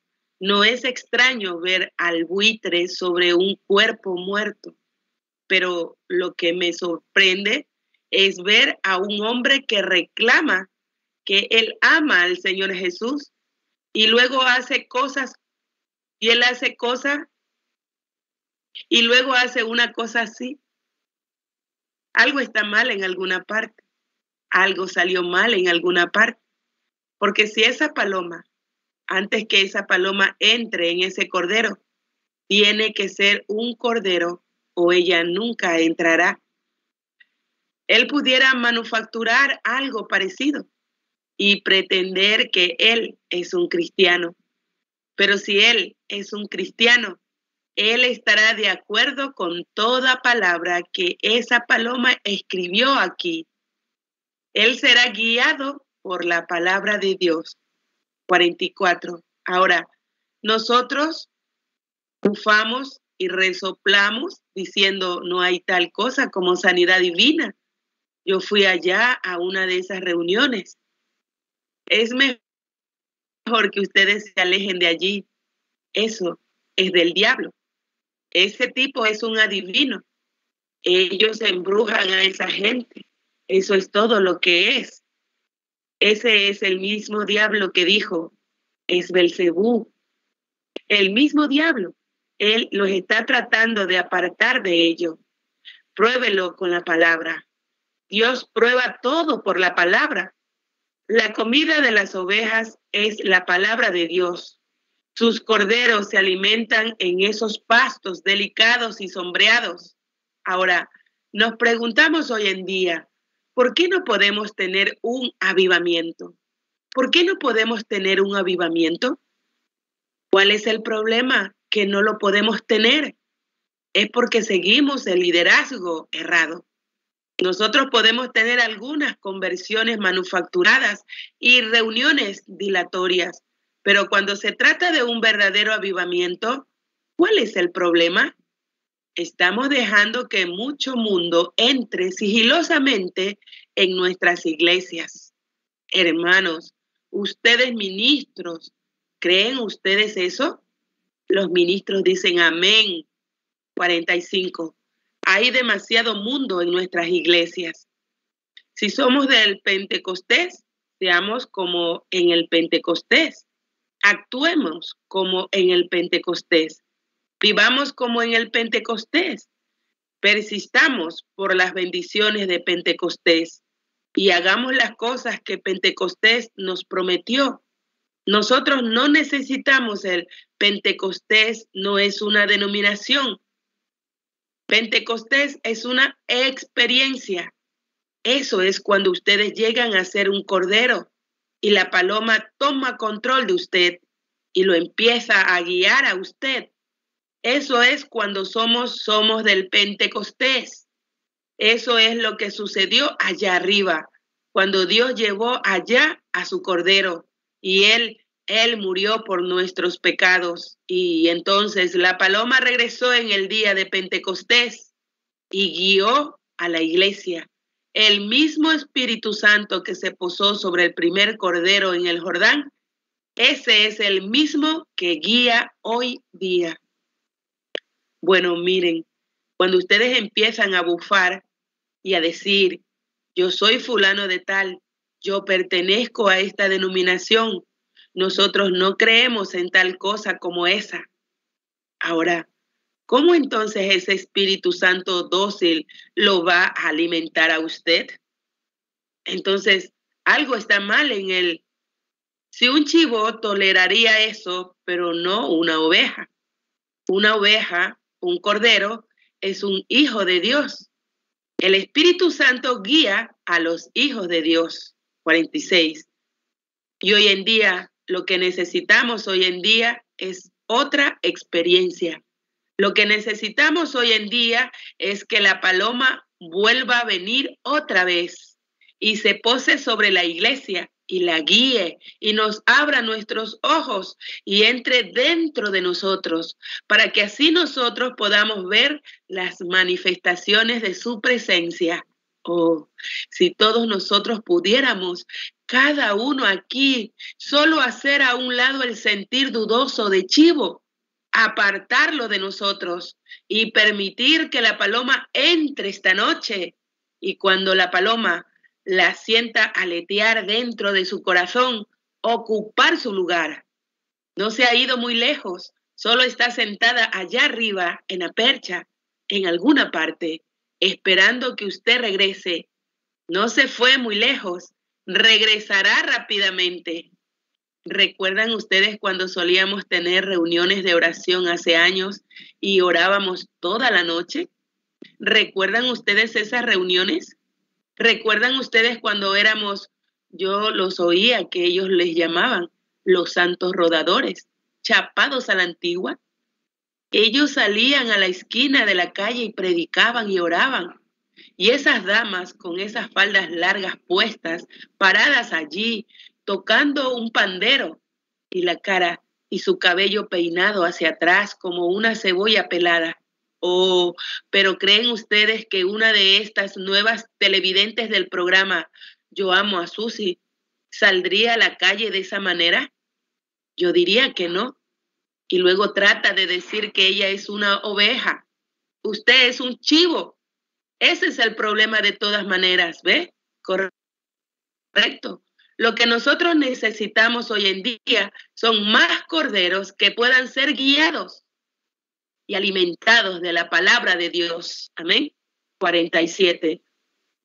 Yo me vestiré de la manera que quiera. Ese es mi negocio. No, no lo es. Es negocio de Dios. Yo cuidaré de mi familia de la manera que yo quiera. Predicador, Tú no tienes negocios diciéndome eso. Sí, sí los tengo. Usted la debería cuidar de la manera que Dios le dijo que la cuidara, ¿correcto? Pare toda esa tontería, pero no lo hacemos. ¿Ve lo que es? Dejamos caer las trancas. ¿Qué sucedió? El Espíritu Santo tomó su vuelo. Cuando usted empezó a actuar de esa manera, el Espíritu Santo se fue. Esa es la razón que cuando él regresa en la iglesia, obviamente se pregunta, ¿qué está pasando? ¿Ve? No es, no es, no es nada que él, usted dice, bueno, quizás yo no saldría y haría esto, eso y lo otro. El que es culpable en lo poco, es culpable en todo. Usted se tiene que rendir a Dios y permitir que el Espíritu Santo lo guíe. ¿Qué es pecado de todas maneras? Pecado es incredulidad.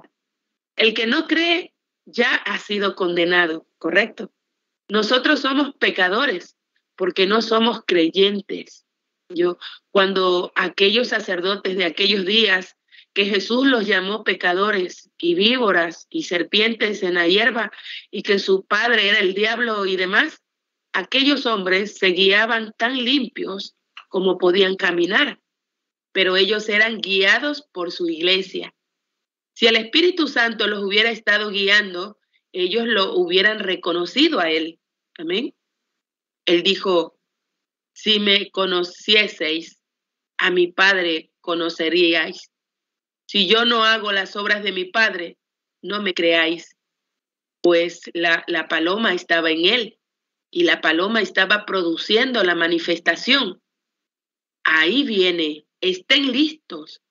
Y la paloma en nosotros hoy en día producirá la misma cosa que produjo en ese cordero. El mismo ministerio, las mismas señales, los mismos prodigios. El que en mí cree, las obras que yo hago, él las hará también. Y aún mayores hará, porque yo voy al Padre. Un poco, y el mundo no me verá más, pero vosotros me veréis, porque yo estaré con vosotros, aún en vosotros, hasta el fin del mundo. Amén. 48. Oh, qué confirmación ver a un cordero y a una paloma unirse. Cielo y tierra se unieron. Dios y el hombre se unieron. Y bueno, los pecados del mundo fueron disipados con un beso. Y toda dureza, y toda muerte, y toda pena, y toda enfermedad fue disipada con un beso cuando el cordero y la paloma se unieron. Y producirá la misma cosa para ustedes cuando ella se una con ustedes. Cuando la paloma y el cordero se unan, sus naturalezas son las mismas. Ahora, ¿pueden ustedes ver por qué la gente habla que ministros con grandes nombres clericales y demás de padre honorable, doctor fulano de tal? ¿Cómo es que ellos ellos se comportan, que, que no crean esa cosa de sanidad divina, no crean esa cosa de los santos rodadores como los pentecostales, no crean eso. ¿Ven ustedes? Es un chivo en lugar de un cordero. ¿Ven? Ellos comen de la palabra de Dios. Ese es el alimento para el cordero. Dios los guía. Y de la manera que Él guió a ese primer cordero, ¿Qué si Jesús se hubiera levantado y dicho, miren, esperen un momento? Moisés fue un gran profeta, esa es la verdad, pero esos días ya pasaron. Ese no hubiera sido el Cordero, no hubiera sido el Cordero de Dios, no, Señor. Él siempre vindicaba que no soy yo el que hace las obras, es mi Padre que mora en mí. Si no hago las obras de mi Padre, no me creáis. Mas si yo hago las obras de mi Padre, aunque no me creáis a mí, creed a las obras. Y de esa manera estaba guiando el Cordero. Era Dios en él, es Dios en la iglesia, es Dios en su pueblo hoy día, es Dios el mismo manifestándose por medio del Espíritu Santo, viviendo en la iglesia, en sus corderos, ¿Creen ustedes eso con todo su corazón? Inclinemos nuestros rostros solo un momento. 49. La paloma y el cordero. Mientras ustedes están escuchando, una de las escrituras más sobresalientes, una de las que yo puedo pensar fue cuando Jesús dijo, Padre, piénsenlo, Padre, por causa de ellos yo me santifico a mí mismo Piénsenlo, Padre, yo me santifico por causa de ellos. ¿Qué estaba haciendo él? Estableciendo el ejemplo. Él era un cordero. ¿Qué hizo él? Él tenía derecho a un hogar. Él era un hombre. Él tenía derecho a casarse. Él era un hombre. Él tenía derecho a tener buena ropa. Él era un hombre pero Él se santificó a sí mismo, Él lo cedió. Él pudiera haber, Él pudiera haber descendido de los corredores de la gloria como un hombre adulto, con una hueste angélica, seguro, pero él se santificó a sí mismo. Él pudiera por lo menos haber nacido en una buena cama limpia en alguna parte, pero él nació en un pesebre allá, sobre un montón de estiércol, en un pesebre prestado. Pero él se santificó a sí mismo. ¿Por qué? Él era el Cordero. ¿Ven amigos? Hemos regresado a las religiones de línea de montaje y demás.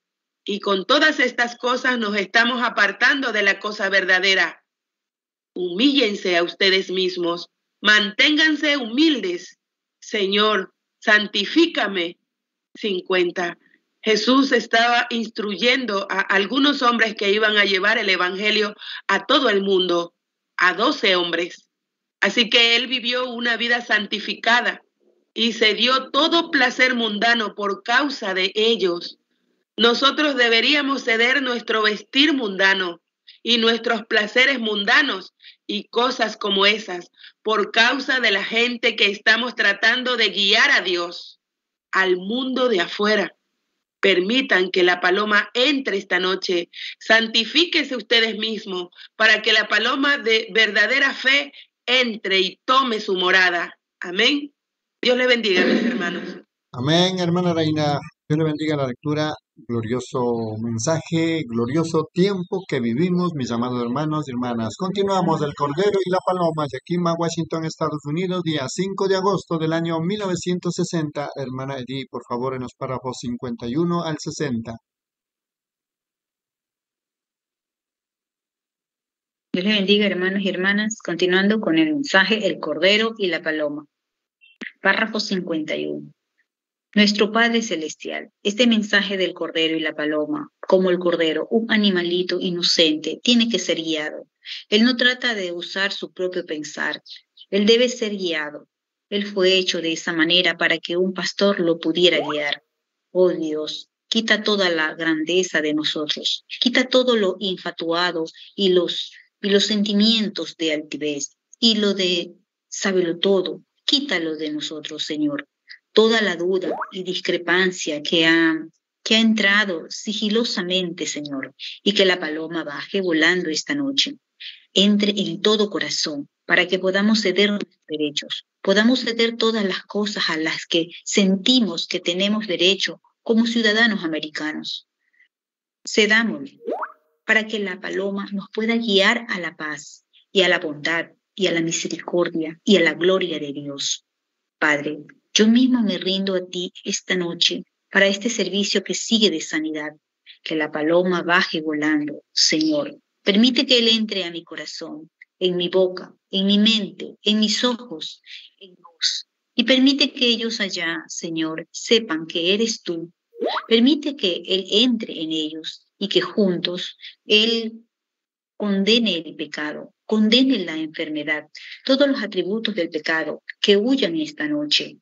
Que esta iglesia salga de aquí esta noche como una iglesia creyente, restregada, santificada, llenada, llena del Espíritu, y que siga desde esta noche adelante, Señor, y que un gran avivamiento surja por toda la región por la que estamos orando que veamos almas alrededor de los altares otra vez y los fuegos de avivamiento ardiendo.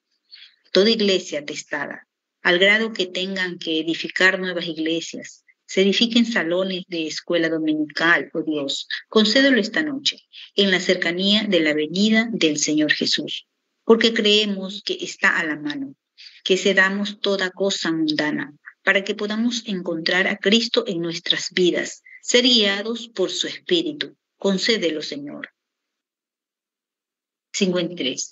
Ahora, yo sé que este pequeño mensaje, algo entrecortado, y yo cuidando que mi voz no se enronquezca, te pido que de alguna manera, que desde este lugar aquí, algo profundo, sólido y puro, se ancle esta noche. Que toda persona aquí sea una que produzca fruto, que no traten de manufacturar algo o hacer algo, sino que se rindan ellos mismos al Espíritu Santo y que ellos produzcan el fruto de fe y paz y gozo y bondad y misericordia y templanza y todos los buenos dones de Dios.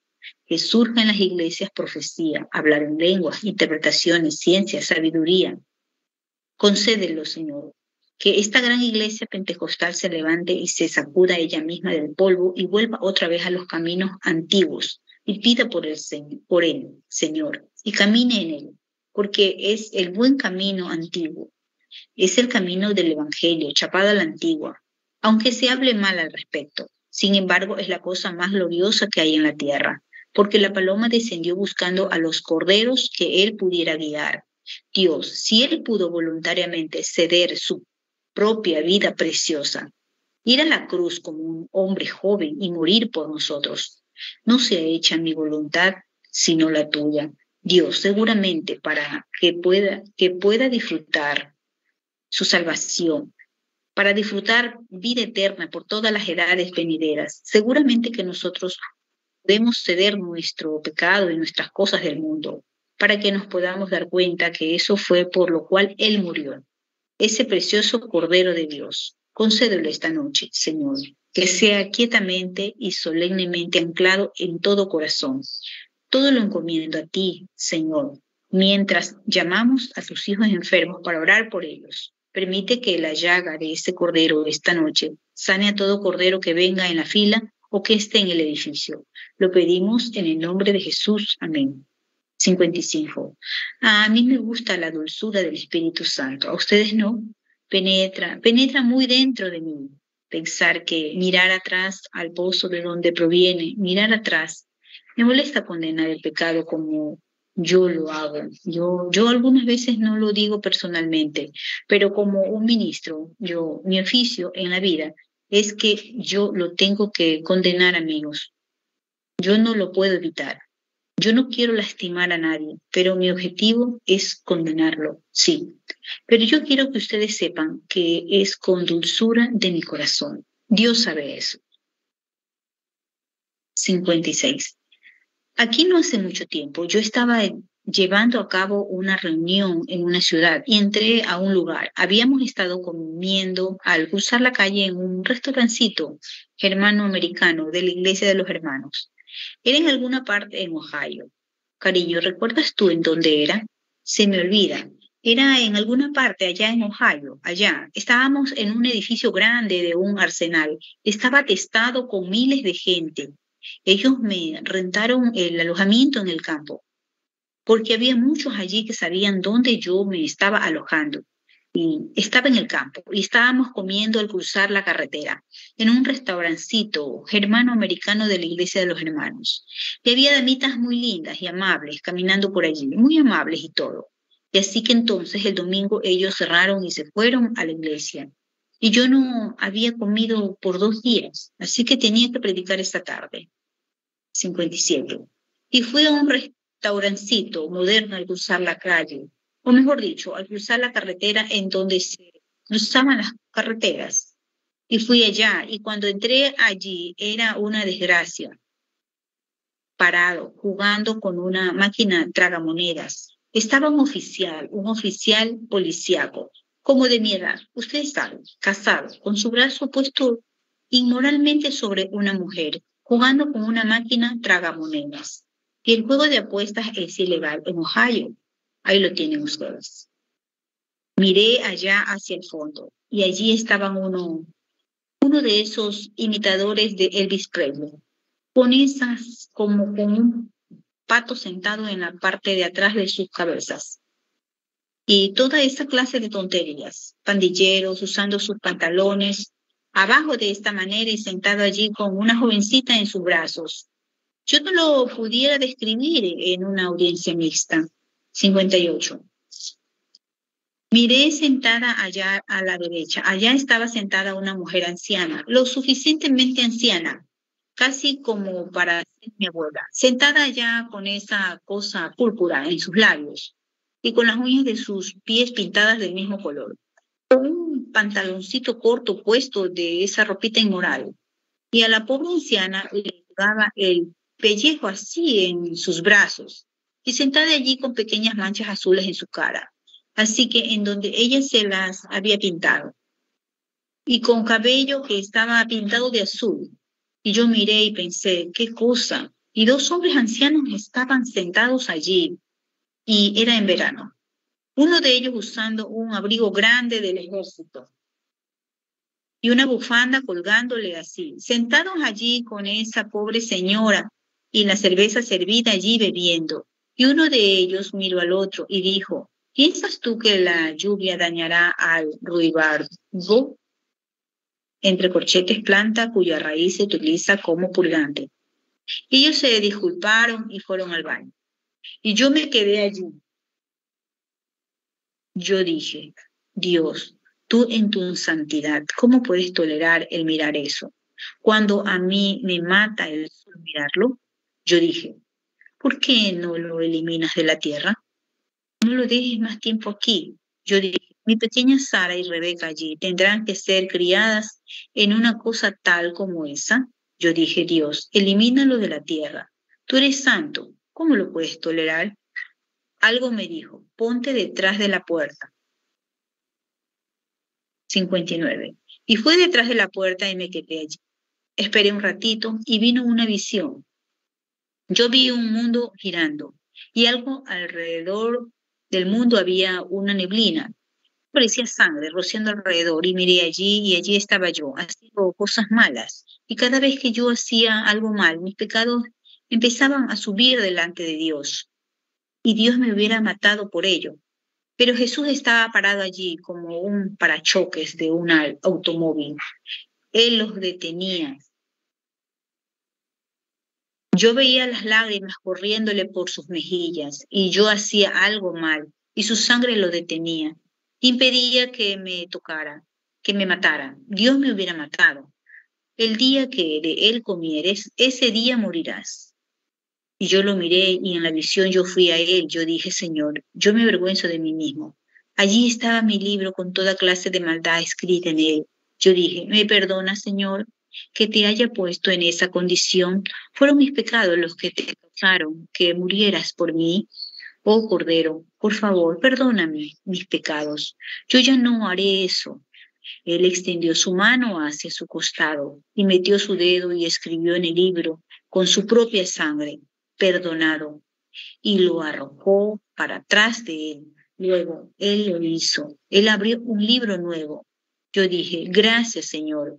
Yo haré todo lo que tú me digas que haga. Yo te amo, Señor Jesús. 60. Él dijo, mira, yo te perdono gratuitamente todo lo que tú has hecho. Y luego él se volteó y yo vi a la mujer, dijo, pero tú la querrías eliminar a ella de la faz de la tierra. Oh, me sentí así de pequeño. Yo dije, perdóname, Señor. Cuando la visión me dejó, me dirigí hacia la mesita en donde ella estaba y yo dije, ¿cómo está usted? Ella me miró. Ella estaba media borracha. Ella hizo dos voces, un ruido de hipo. Dijo, oh, hola. Y yo dije, ¿me puedo sentar? Ella dijo, gracias pero ya tengo compañía. Yo dije, yo no lo dije de esa manera, solo me gustaría decir algo a usted. Y ella dijo, diga. Y me senté. Yo dije, ¿cuánto tiempo ha estado usted viviendo esta vida? Ella me miró y la pobre anciana y yo, yo pensé, qué cosa, no importa cómo, por lo que ella haya pasado. Y yo le conté lo que había sucedido. Yo dije, perdóneme usted. Ella dijo, ¿es usted ese ministro de aquí, el señor Branham, que está en... Yo dije, yo soy. Ella tomó mi mano y temblando comenzó a llorar. Ella dijo, Señor, ella dijo, mi esposo era un predicador. Ella dijo, después de su muerte, yo tengo dos hijas. Ellas son maestras dominicales, ambas. Y ella me contó la historia, lo que sucedió, de la manera que ella estaba viviendo. Ella dijo, yo ya perdí la esperanza. Yo dije, no, no la perdió usted, no, no la perdió. Ella dijo, yo, yo me quiero enmendar. Ella dijo, pero no sé en dónde empezar. Yo dije, empiece aquí, ahorita mismo. Dios me estaba mostrando detrás de la puerta esa visión allí. Yo la quería eliminar a usted. Y él dijo que él me perdonó y yo la quería condenar a usted, señora. Perdóneme. Allí ella se agarró de mi mano. Yo la guié allí con esos pantaloncitos cortos puestos. allí en medio de ese piso y nos arrodillamos y tuvimos una verdadera reunión de oración allí. Cuando terminé, la gente estaba llorando, caminando por allí. Amén. Dios le bendiga, hermanos. Amén, hermana Eddie. Dios le bendiga la lectura. Estamos lecturando este glorioso mensaje El Cordero y la Paloma de Kima, Washington, Estados Unidos, día 5 de agosto del año 1960. Voy a continuar en los párrafos 61. Dice, déjenme decirles, hermanos, algunas veces cuando uno tiene que hablar en contra del pecado, no es para ofender a la persona, es para traerlos a reconocer, llevarlos a un punto en el que reconozcan. Como nuestro Señor, no es nuestra intención ofender o ser malos. Dios sabe eso. Eso no, eso nunca ha estado en mi alma, pero es para procurar que la gente reconozca lo que está pasando, lo que está sucediendo. Ven, y yo hago esto para que dejemos toda incredulidad y las cosas del mundo y regresemos y seamos cristianos verdaderamente dulces y humildes y vivamos para Él. Párrafo 62. Ahora, Padre Celestial, te pido que tú envíes la paloma esta noche y nos guíes a todos a entrar en eso, quietamente y dulcemente, en ese lugar verdadero. Elías estaba en una cueva y estando en la cueva el viento pasó, el relámpago relumbró, los truenos tronaron, la tierra tembló, pero una vocecita apacible atrajo al profeta.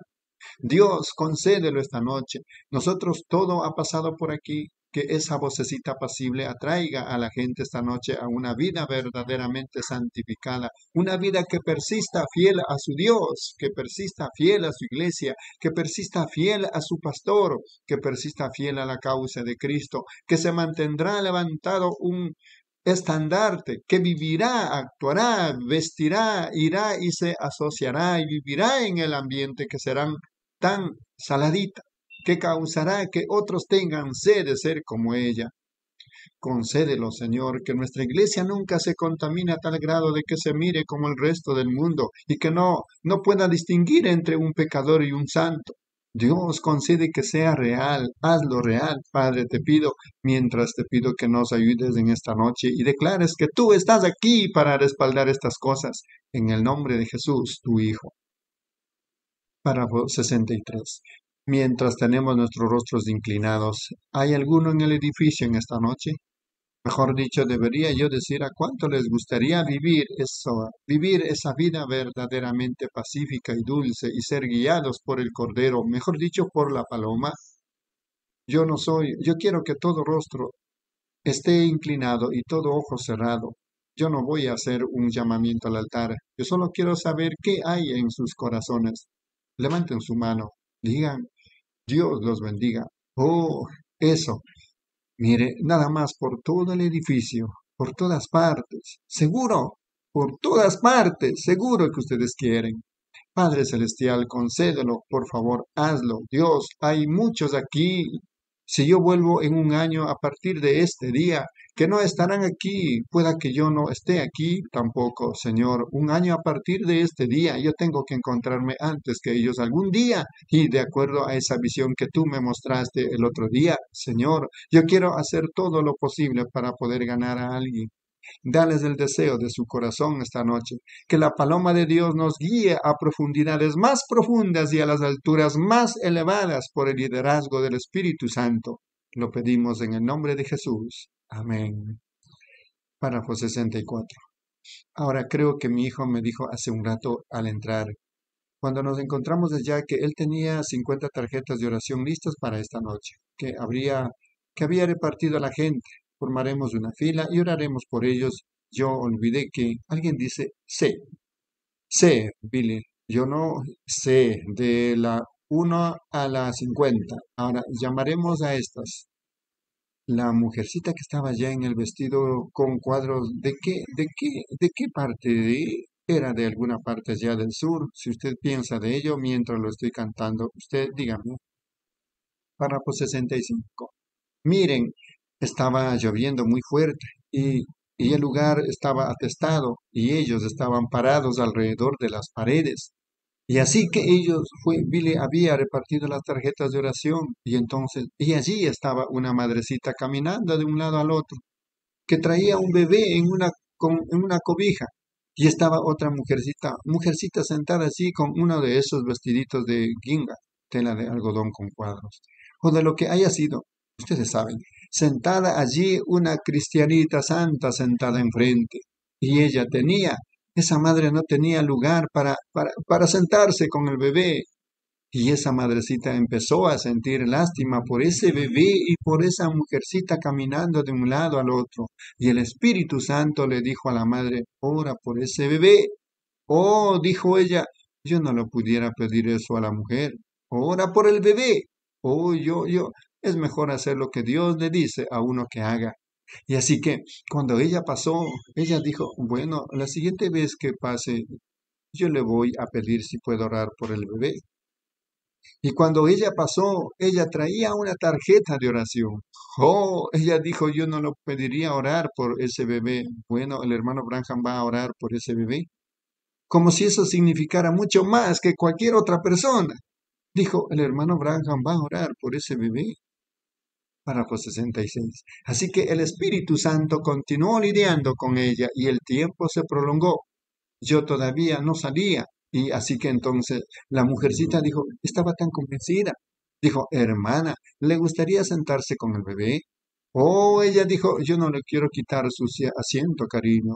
Y probablemente la compasión de esa madrecita era más grande que ese bebé, que lo que la mía hubiera sido. Y ella dijo, hermana, dijo, tome este asiento y siéntese. Dijo, pero yo le quiero decir algo. Yo sé que usted es cristiana. Ella dijo, sí, señora, yo lo soy. Y ella dijo, yo también soy una cristiana. Dijo, Dios continuaba diciéndome, ora por ese bebé. Y dijo, ¿usted trae una tarjeta allí? Dijo, el hermano Branham va a orar por ese bebé. Ella dijo, yo espero que él eh, llame mi número esta noche. Yo estoy aquí para con mi bebé. Y dijo, está gravemente enfermo. Y, y dijo, yo espero que él llame mi número. Y ella le dijo, bueno, usted siéntese aquí y permítame orar por el bebé para que yo me lo pueda quitar de mi corazón. Dijo, ¿por qué me sentiré condenada si yo no lo hago? Ella dijo, bueno, seguro que sí, cariño, ore usted por el bebé. Y ella dijo, y ella hizo una pequeña oración. Puso, dijo, Señor Jesús, tú estabas advirtiendo a mi corazón, y yo solo pongo mis manos sobre el bebé y si está mal lo que estoy, haciendo, cuando tu sirvo ore por él, no, no, no permitas que esto repercuta, Señor. Yo, yo solo estoy tratando de sentirme mejor. Ese fue el Espíritu Santo diciéndole eso a esa mujercita. 67. Así que ella oró por el bebito. Y la mujer le dio a la señora con la tarjeta de oración y con el bebé el asiento y la damita subió al balcón y se paró allí, muy allá. Bueno, después de un rato la lluvia aminoró un poco y entré, entré y me encaminé al púlpito y prediqué un ratito. Llamé la fila de oración y solo llamé como unas diez tarjetas o algo así, porque todo iba a ser discernimiento. Y algunas veces de esa manera, cuando termino las 10, ya estoy, ya estoy muy agotado. Si es una reunión que acaba de empezar. Así que entonces cuando ellos, ellos, yo les dije a ellos, les dije, miren amigos, ustedes es su fe, ustedes lo tienen que creer. Así que cuando, cuando ellos llamaron el número, creo que de como la 20 a la 30 o algo así, o de la 30 a la 40, o lo que haya sido, esa mujercita era como la 40 en la fila con ese bebé esa madrecita se sentía muy bien entonces. Así que ahí venían el bebito y la madre. Y el bebito tenía una cobija sobre él. Así, y estaba muy enfermo. Así que subió hasta donde estaba la fila de oración pasando. Cuando ella se acercó, yo dije, ¿cómo está usted?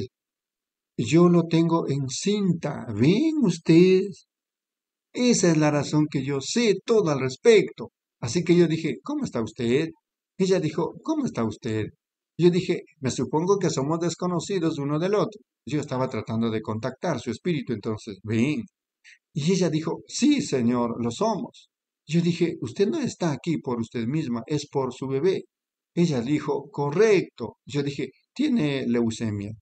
Y ella dijo, correcto. Los doctores le acaban de dar unos cuantos meses para vivir. Yo dije, bueno, espere un momento. Yo dije, el bebé ya está sanado. Hay una mujercita que acaba de orar por él, que trae puesto un, vestido de pinga. Yo dije, ella acaba de orar por el bebé hace unos minutos. Yo dije, esa es lo que está parada allá arriba. Su nombre es la señora fulana de tal. Ella, entonces la obediencia es mejor que el sacrificio. Amén.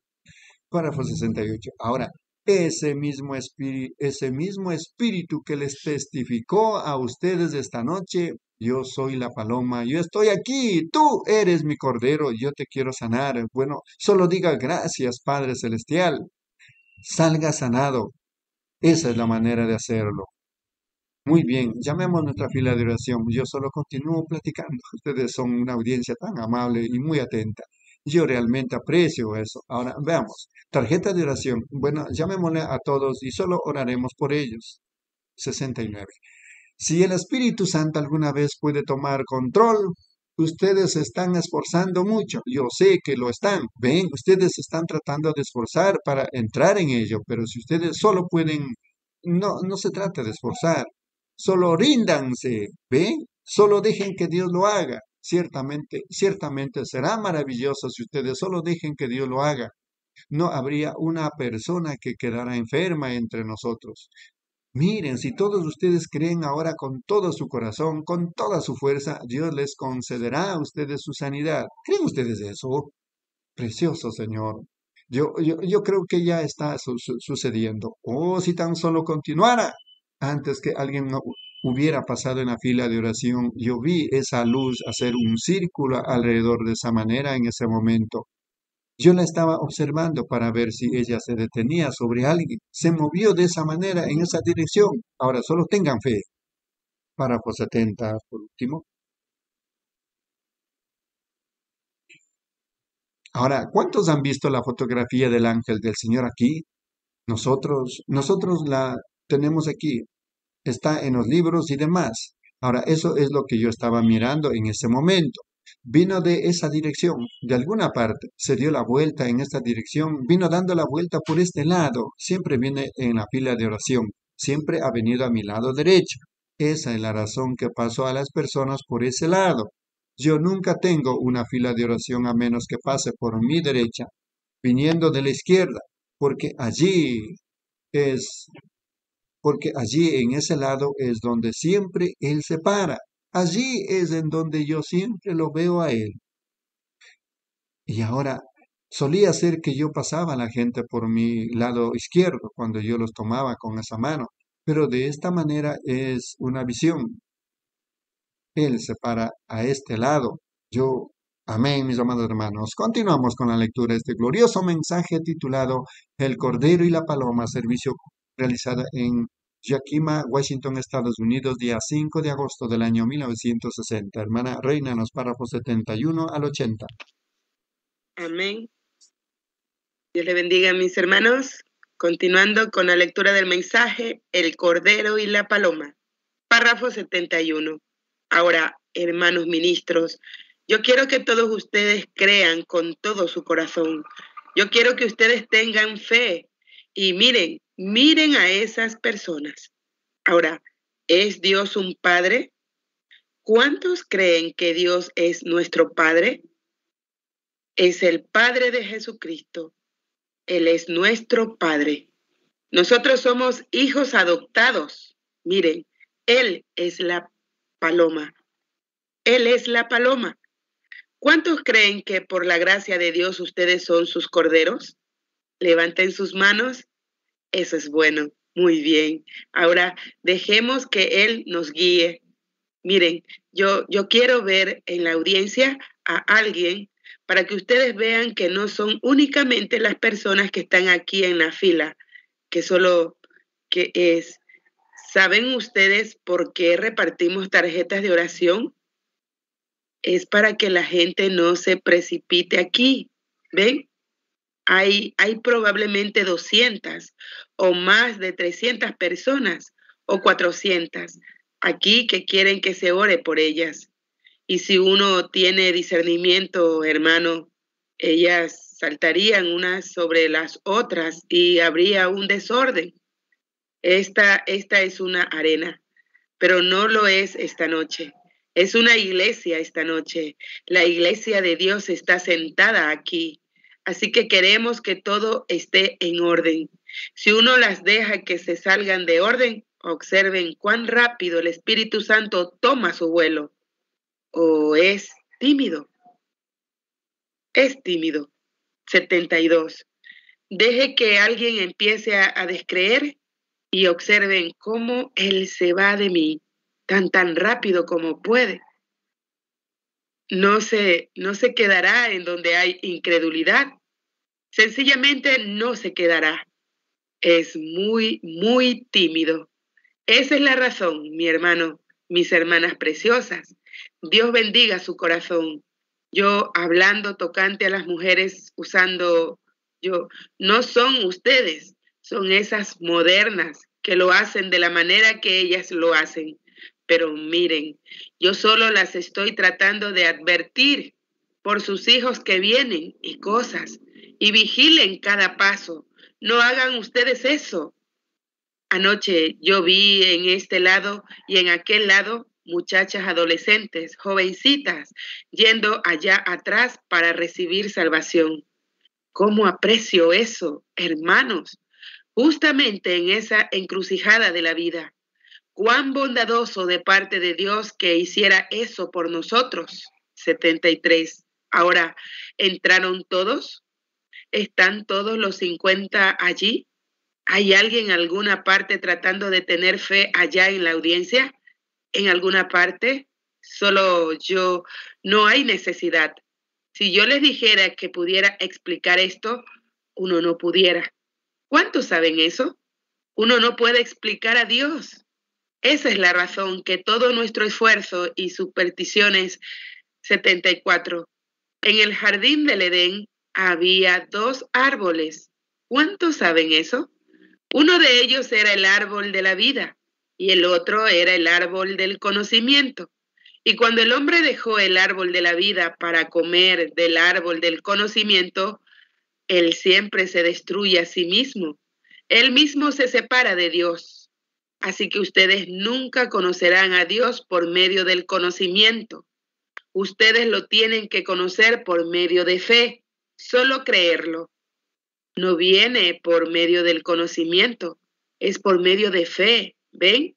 Así que cada vez que comimos de aquí, ellos comieron de el primer bocado separó su compañerismo de su hacedor. Luego él comió de la pólvora del rifle y mató a su, a su camarada, a su amigo. La siguiente cosa, él comió de un automóvil y mató más que la pólvora del rifle. Perdón, y mató más que la pólvora que el rifle mató. Ahora, él ha comido de una bomba atómica. Me pregunto, ¿qué es lo que él va a hacer con eso? ¿Ven? 75. Dios nunca destruye nada. El hombre, por el conocimiento, él mismo se destruye. Recuerden eso. Dios no destruye nada.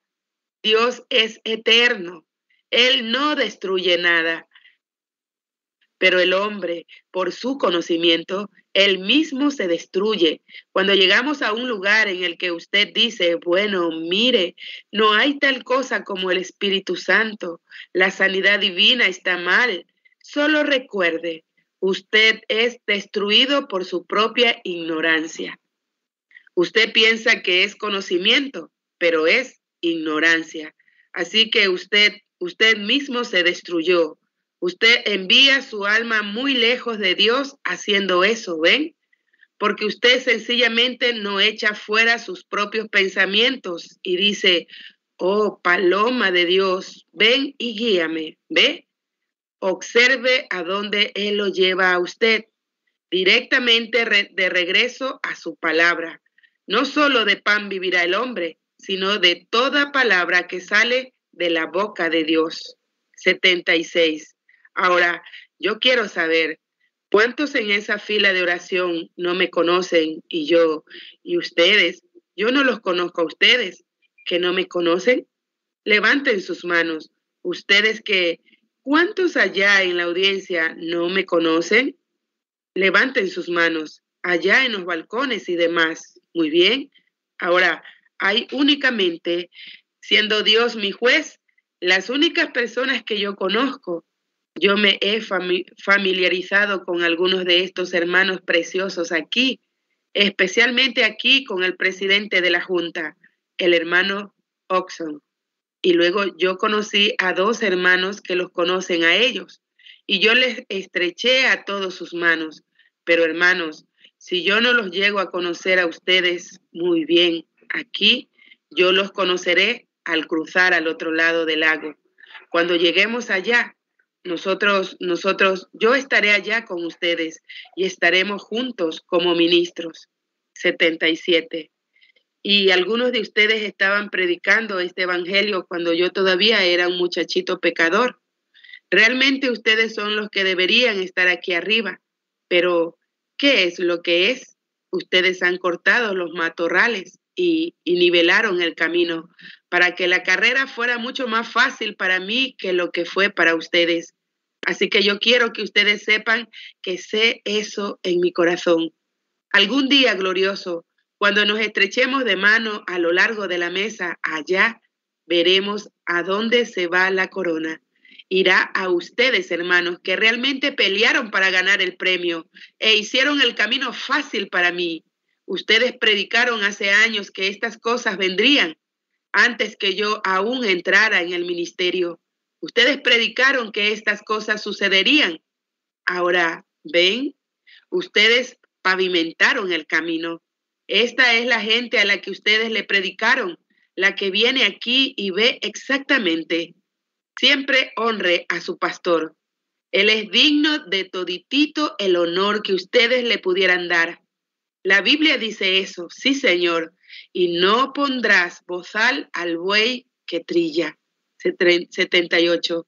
Ahora, tiempo atrás, cuando ellos estaban allá en la esquina y la, los corrían de la ciudad y comían maíz de las vías del ferrocarril o lo que hacían ellos estaban abriendo el camino para esto. Y nunca olviden eso. Cuando estos nuevos evangelistas vienen con un ministerio muy... No, recuerden, si ustedes se fueran a operar, ustedes no quisieran, ustedes no quisieran tener un estudiante recién graduado y que no tuviera experiencia. Ustedes quisieran uno que tuviera experiencia, que de sus almas ¿Qué de sus almas que van a ser operadas? ¿Correcto, hermanos? Seguro que es la verdad. 79. Ahora, este es un don. Permítanme explicarlo ahorita, solo por un momento. Este es un don, solo una, una manera que tengo de entregarme a la paloma.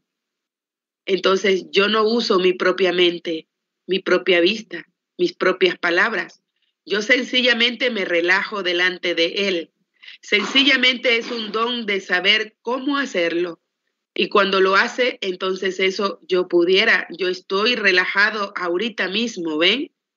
Y cada uno de ustedes es un espíritu. Si ustedes no fueran, estuvieran muertos. Así que cuando ustedes tienen incredulidad, yo la siento llegando aquí. Una poquita de duda, uno la siente. Pero cuando hay fe, uno también siente eso, ¿ven? Miren ahora, es su fe la que produce estas visiones. Ahora, Dios sabe eso. Es su fe la que lo hace, no yo. Yo yo no la controlo. Ella me controla a mí. Yo solo me relajo y luego lo que él dice y luego lo que él dice yo lo digo hasta que yo me empiezo a sentir muy débil. Entonces yo puedo sentir que estoy fuera de mi propio control. Entonces yo solo yo yo sé que si continúo, no pasaría un ratito cuando ellos, el hermano Roy o Billy Paul, aquí me saquen 80. Y así que entonces yo tengo otras reuniones, otras noches y me trato de contener. Es, es el don, no es para mí. El don no es para mí, es para ustedes. Yo puedo. Si yo quiero saber algo, yo digo, Señor, ¿qué es? ¿Qué es? Él no me dice, a menos que Él quiera. Pero cuando yo me relajo por medio de un don, entonces ustedes lo pueden usar. ¿Cuántos entienden eso? Esa es su propia fe. Ahora, si ustedes solo miran en esta dirección como la mujer que tocó el borde de su manto y creen y saben que Él es el sumo sacerdote, ¿ven? Ahora, la única manera que ustedes obtendrán algo de un don de Dios es acercarse con reverencia y respeto. ¿Qué si Marta hubiera dicho, tú no estabas aquí, ¿por qué no viniste cuando yo te llamé? Mi hermano Lázaro murió hace cuatro días. Nosotros creemos que tú eres un hipócrita. No tendremos ya nada que ver contigo. Nunca hubiera sucedido. Amén. Dios le bendiga, mis hermanos. Amén, hermana Reina. Dios le bendiga. Continuamos el Cordero y la Paloma, servicio realizado en Yakima, Washington, Estados Unidos, día 5 de agosto del año 1960. Hermana Edith, por favor, en los párrafos 81 al 91.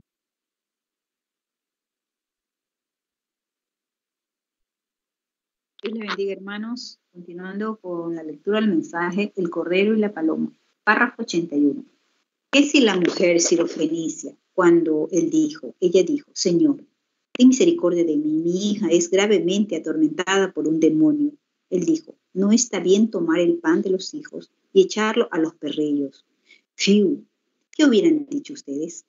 Yo, un perrillo, santo rodador, yo no tengo nada que ver contigo, vete. Ella no, ella no dijo, sí señor, pero aún los perrillos comen de las migajas que caen de la mesa de sus amos y volteó y dijo, por este dicho, su acercamiento, ¿ven? Marta dijo, Señor, si hubieses estado aquí, mi hermano no habría muerto. Mas también ahora todo lo que pidas a Dios, Dios te lo dará. Oh, él dijo, yo soy la resurrección y la vida. El que cree en mí, aunque esté muerto, vivirá. Y todo aquel que vive y cree en mí, no morirá eternamente. ¿Crees esto? Ella dijo, sí, Señor. Ella lo llamó lo que él era, Señor. Sí, Señor, yo he creído que tú eres el Hijo de Dios, que has venido al mundo. Hermano, algo tiene que suceder, eso es todo. ¿Dónde lo pusiste? Eso fue todo. Eso es lo que él necesitó para hacerlo. Eso es lo que se necesita cada vez para hacerlo. 82. Ahora, si ustedes solo se acercan a Dios con esa misma reverencia, ustedes allá sin una tarjeta de oración, yo solo oraré por estos en la fila, solo para mostrarles a ustedes que, ¿qué será? Yo voy a... Recordé que me tengo que quitar este reloj. Yo, yo pudiera ser, yo solo oraré por estas personas en la fila de oración y entonces ustedes son los que producirán el discernimiento. Ustedes solo, solo ustedes. Solo crean con todo su corazón, solo crean con todo su corazón. Yo les puedo decir a ustedes, aún antes que la reunión empiece, antes que la fila de oración empiece. ¿Quiere usted que termine esa tos asmática, señora? ¿Cree usted que Dios la sanará? Si usted tiene fe y no duda, usted se puede deshacer de ella. 83. Acá está un hombre sentado y el hombre tiene un problema del corazón. Ha estado en el hospital. Si usted cree, Señor, con todo su corazón, Dios lo sanará. Señor Howard, tenga fe. Señor, ¿tiene usted una tarjeta de oración? ¿No tiene? Usted tarjeta de oración, yo soy un desconocido para usted. Yo no lo conozco, nunca lo he visto en mi vida y somos totalmente desconocidos. Lo que él dijo, ¿es la verdad? Si lo es, levante su mano. Muy bien, Jesucristo lo sana ahora. Váyase a casa. Usted está sano. ¿Ven lo que quiero decir? ¿Cómo se siente? Mejor ahora, hermana. Usted parará de toser ahora. Váyase a casa y sea sana. Si puedes creer. 84. ¿Qué piensa usted, Señor, allá atrás con ese problema de la pierna? ¿Piensa usted que Dios lo hará saludable y lo sanará? El hombre sentado allí mirándome, ¿cree que Dios lo sanará? Si usted lo cree con todo su corazón, le será hecho. Amén. No dude, crea. Allá está una señora sentada orando por su esposo. Él tiene algo mal con sus músculos. ¿Cree usted que Dios lo sanará? Si usted cree, le será hecho lo que usted pide. Si usted lo cree con todo su corazón y no lo duda. Póngase de pie, señora, para que la gente pueda ver quién es usted, sentada allá atrás. Muy bien, solo crea con todo su corazón. Miren lo que él hizo por la mujer. Miren lo que él hizo por el hombre. ¿Qué son ellos? Ellos son ovejas que le permitieron a la paloma entrar. Eso es exactamente lo que es. Tengan fe en Dios. 85.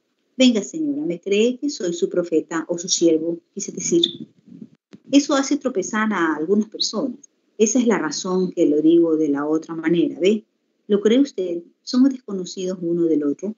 La mujer dice, correcto. Muy bien, nosotros nunca nos hemos conocido antes y nosotros, este es nuestro primer encuentro en la vida. Mire, yo no la conozco a usted, usted no me conoce. Y así que aquí nos estamos encontrando por primera vez. Yo no tengo la menor idea de lo que está mal en usted. Yo no tengo la menor idea porque usted está parada aquí. Yo, yo pudiera, pudiera ser, usted pudiera estar enferma, usted pudiera estar parada por alguien más, usted pudiera tener problemas económicos, pudiera ser problemas domésticos, pudiera ser, yo no sé lo que es, usted está consciente de eso, que yo no sé nada al respecto. Si eso es así, hasta donde sabemos, levante su mano para que la gente pueda ver, ¿ven? 86. Ahora, aquí estamos, ahora, ¿ven? Es solo para relajarme. Yo le voy a hablar a la mujer. Ahora aquí está una mujer. Yo soy un hombre y nosotros nos hemos encontrado por primera vez en la vida como Jesús y la mujer en el pozo en Samaria, en el pozo. Ahora, él le habló a ella solo un momento con el fin de captar su espíritu, ¿ven? Porque ahora está viniendo de todas partes, como un latido de corazón, de todas partes. Sencillamente es la gente. Mire, yo no la conozco a usted y Dios la conoce a usted. Y Él me conoce a mí ahora. Si Dios me revela algo como Jesús le dijo a la mujer cuál era su problema. ¿Recuerda usted haber leído esa historia? San Juan 4. La mujer dice sí. Y él le dijo cuál era su problema. Y cuando se lo dijo, ella dijo, Señor, me parece que tú eres profeta. Nosotros sabemos, nosotros los samaritanos, nosotros sabemos que ha de venir el Mesías, llamado el Cristo. Cuando Él venga nos declarará estas cosas. Ella sabía que esa era la señal del Mesías. Y así que y él dijo, yo soy el que habla contigo. Ella fue a la ciudad corriendo y les dijo a los hombres tocante a ello, venid, ved a un hombre que me ha dicho todo cuanto yo he hecho. ¿No será este el mero Mesías? Y la gente en la ciudad creyó que él era el Mesías debido al testimonio de la mujer. 87.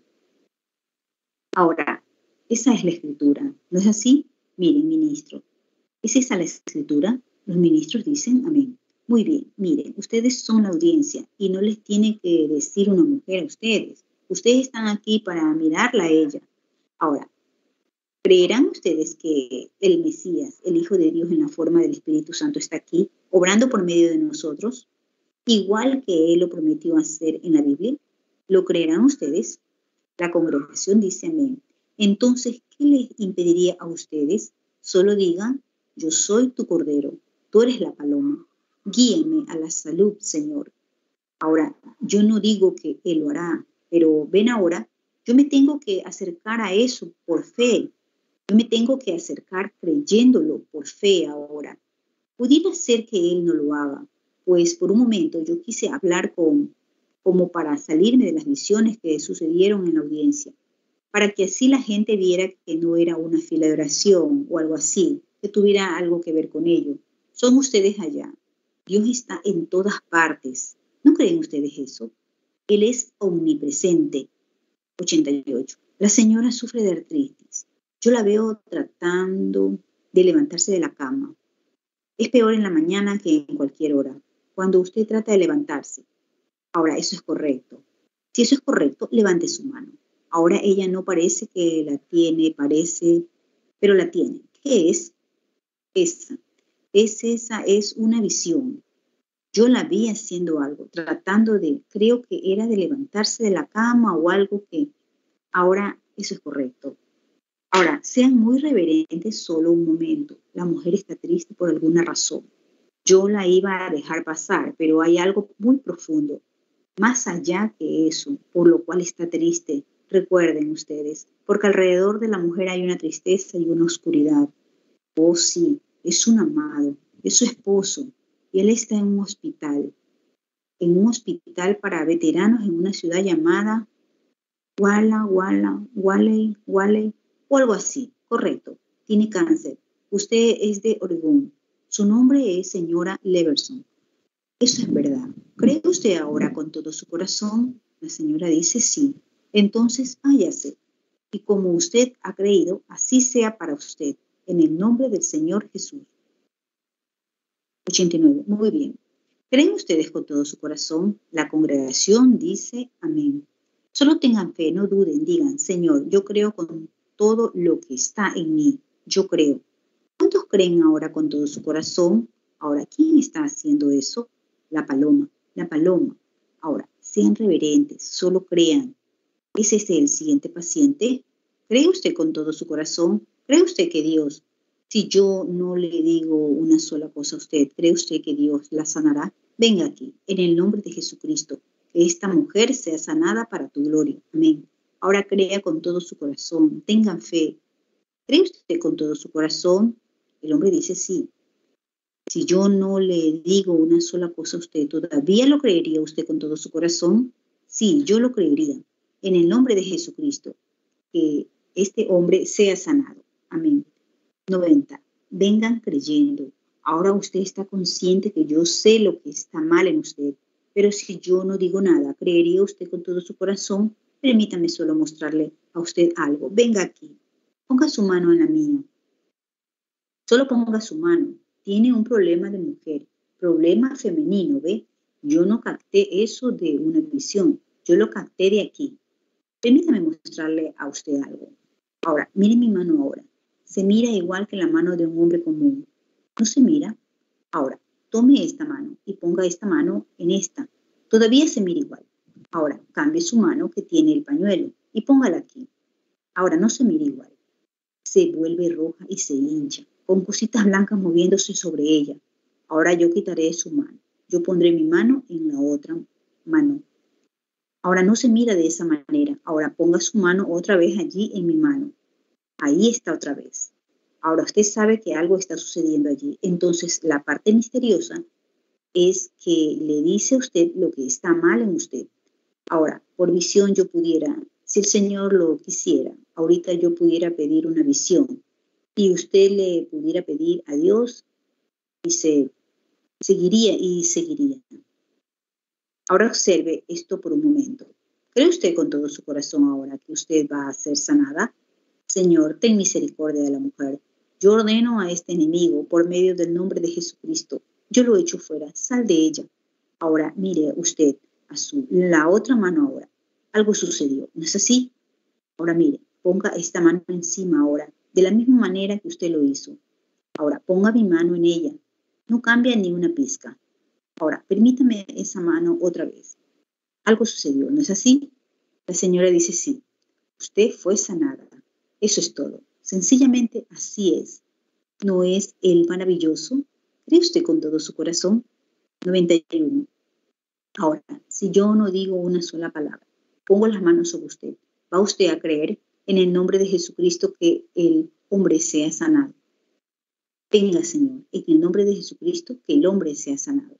Venga, hermana, crea con todo su corazón. ¿Está usted triste?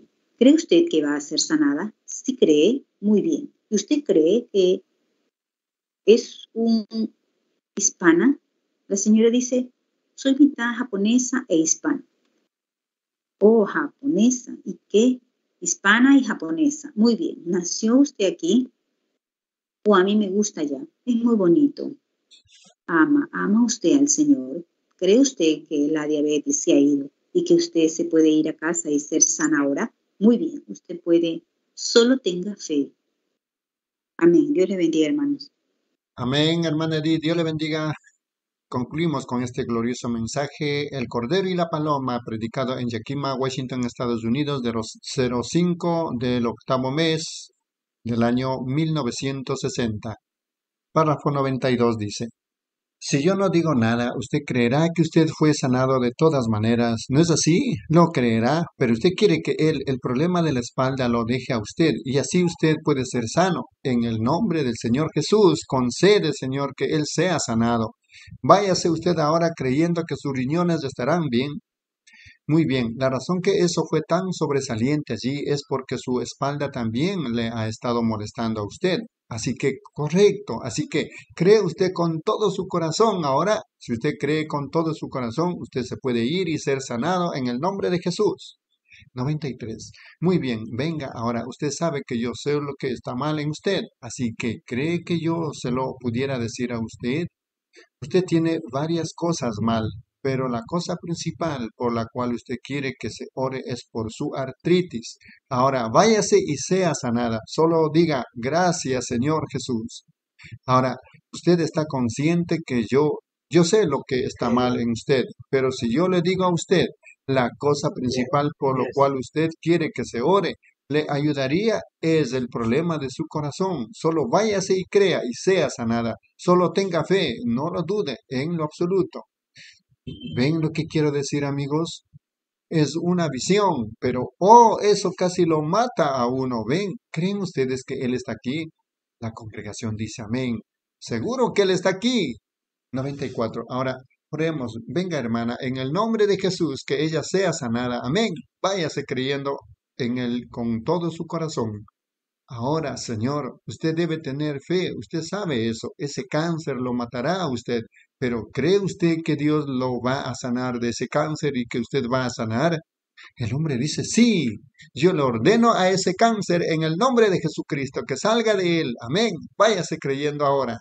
95. Y si usted tiene fe y cree con todo su corazón, usted no morirá del problema del corazón. Usted sanará. ¿Lo cree usted? Muy bien, váyase creyendo, diga, alabado el Señor. Muy bien, ¿cree usted con todo su corazón en el nombre del Señor Jesús que ella sea sanada? Amén. Crea ahora por el pequeñito.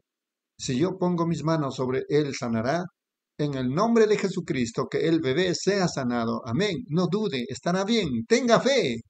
Oh Dios, hermano, usted tiene que creer o se lo, se lo continuará comiendo por dentro. Pero ¿cree usted que estará bien? En el nombre de Jesucristo que el diablo dije al hombre. Amén. Tenga fe, crea. ¿Cree usted por él ahorita, Señor? Ven aquí, niñito. Señor, sana al muchachito. Concédelo mientras lo tomo en mis brazos y pongo mis manos sobre él. En conmemoración de lo que Jesús hizo con los niñitos. Que él sea sanado en el nombre de Jesús. Amén. Ahora váyase y no dude. 96. Muy bien, venga, Señor, Dios, Padre, te pido que sanes a este hombre, que esta condición lo deje en el nombre de Jesús. Amén. Tenga fe, ahora solo crea con todo. En el nombre de Jesucristo, que nuestra hermana sea sanada. Amén. Muy bien, venga, Señor, usted va usted a creer en el nombre de Jesucristo que mi hermano sea sanado. Amén. Tenga fe ahora, no dude, crea con todo su corazón. Muy bien, venga, señora. ¿Por qué están ustedes tan callados? ¿Saben ustedes que Dios los está bendiciendo a cada uno? Si yo no lo creyera, yo los hubiera detenido. Ven, a pesar de todo, está sucediendo. Solo ustedes, ustedes ven. La cosa de esto es que ustedes ven que hay, ¿cuántos saben que tiene que haber algo más que el hermano Brancan haciendo esto? Levanten su mano. Ustedes saben que yo no lo pudiera hacer. Bueno, entonces hay algo, alguna clase de ungimiento aquí. ¿Es correcto eso? ¿Creen ustedes que eso es lo que la Biblia dice? ¿Creen ustedes eso? Bueno, entonces ese mismo Jesús que hizo esa promesa, esa misma paloma, no dijo él, sobre los enfermos pondrán sus manos y sanarán. 97. La visión casi casi me mata, ¿ven? ¿Cuántos entienden que la Biblia enseña eso? Bueno, seguro, cualquiera que sabe la Biblia sabe eso, solo yo no puedo detener con cada uno. Pero si me detengo con algunos de ustedes, ustedes deben saber que Dios es el mismo. Él, el, el Espíritu Santo, cuando Él me habló allá, si ustedes solo me van a dar momentos para recuperarme un poquito. Él dijo, tú naciste para orar por la gente enferma, tu nacimiento peculiar. Esa luz que ustedes ven en esa fotografía estaba suspendida sobre una cuna cuando yo nací. Nací en un colchoncito de paja con una almohada de hojas. Mi madre tenía 15 años de edad, mi padre tenía 18. A las 5 de la mañana ellos no tenían una ventana a la casa, tenían una puertita. Yo no sé si ustedes alguna vez han visto, ¿cuántos de ustedes alguna vez han visto una de esas? Se suponía que era como una ventana, pero solo es una puertita que uno abría. 98. Y, y ese ángel de Dios a las 5 de la mañana, el 6 de abril del año 1909, a las 5 de la mañana, entró y se posó por encima de esa camita en donde yo estaba acostado. Ellos no sabían que mi familia antes de mí era católica. Y así que no había iglesias católicas allí. Y así que me llevaron a una iglesita bautista. Y allí yo visité por primera vez una iglesia. La iglesia bautista se llamaba Iglesia Bautista, el reino de la zarigüeya. Iglesia Bautista, el reino de la zarigüeya.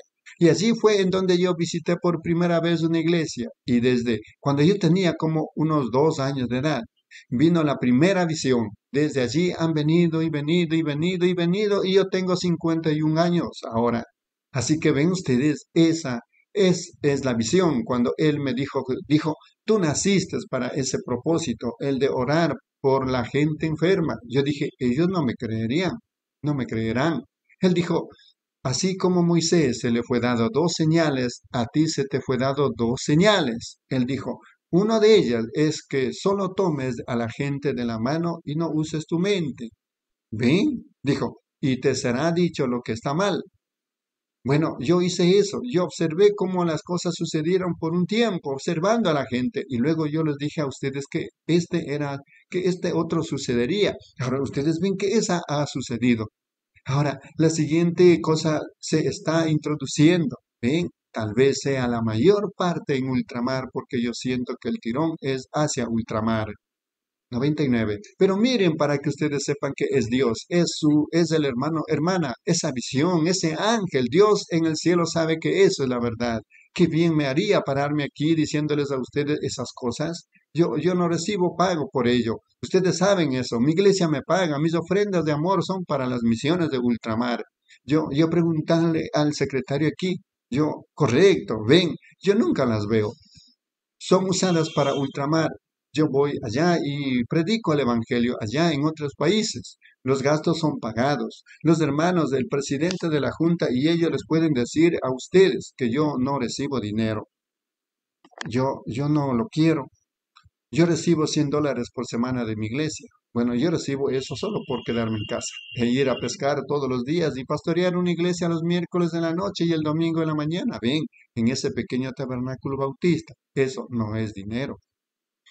Si fuera por dinero, yo pudiera haber sido un millonario. Si yo hubiera querido ser, en una ocasión me dieron un millón quinientos mil dólares en una sola ofrenda no todo proveniente de una sola persona, correcto, los ángeles, los agentes del FBI, Departamento Federal de Investigación.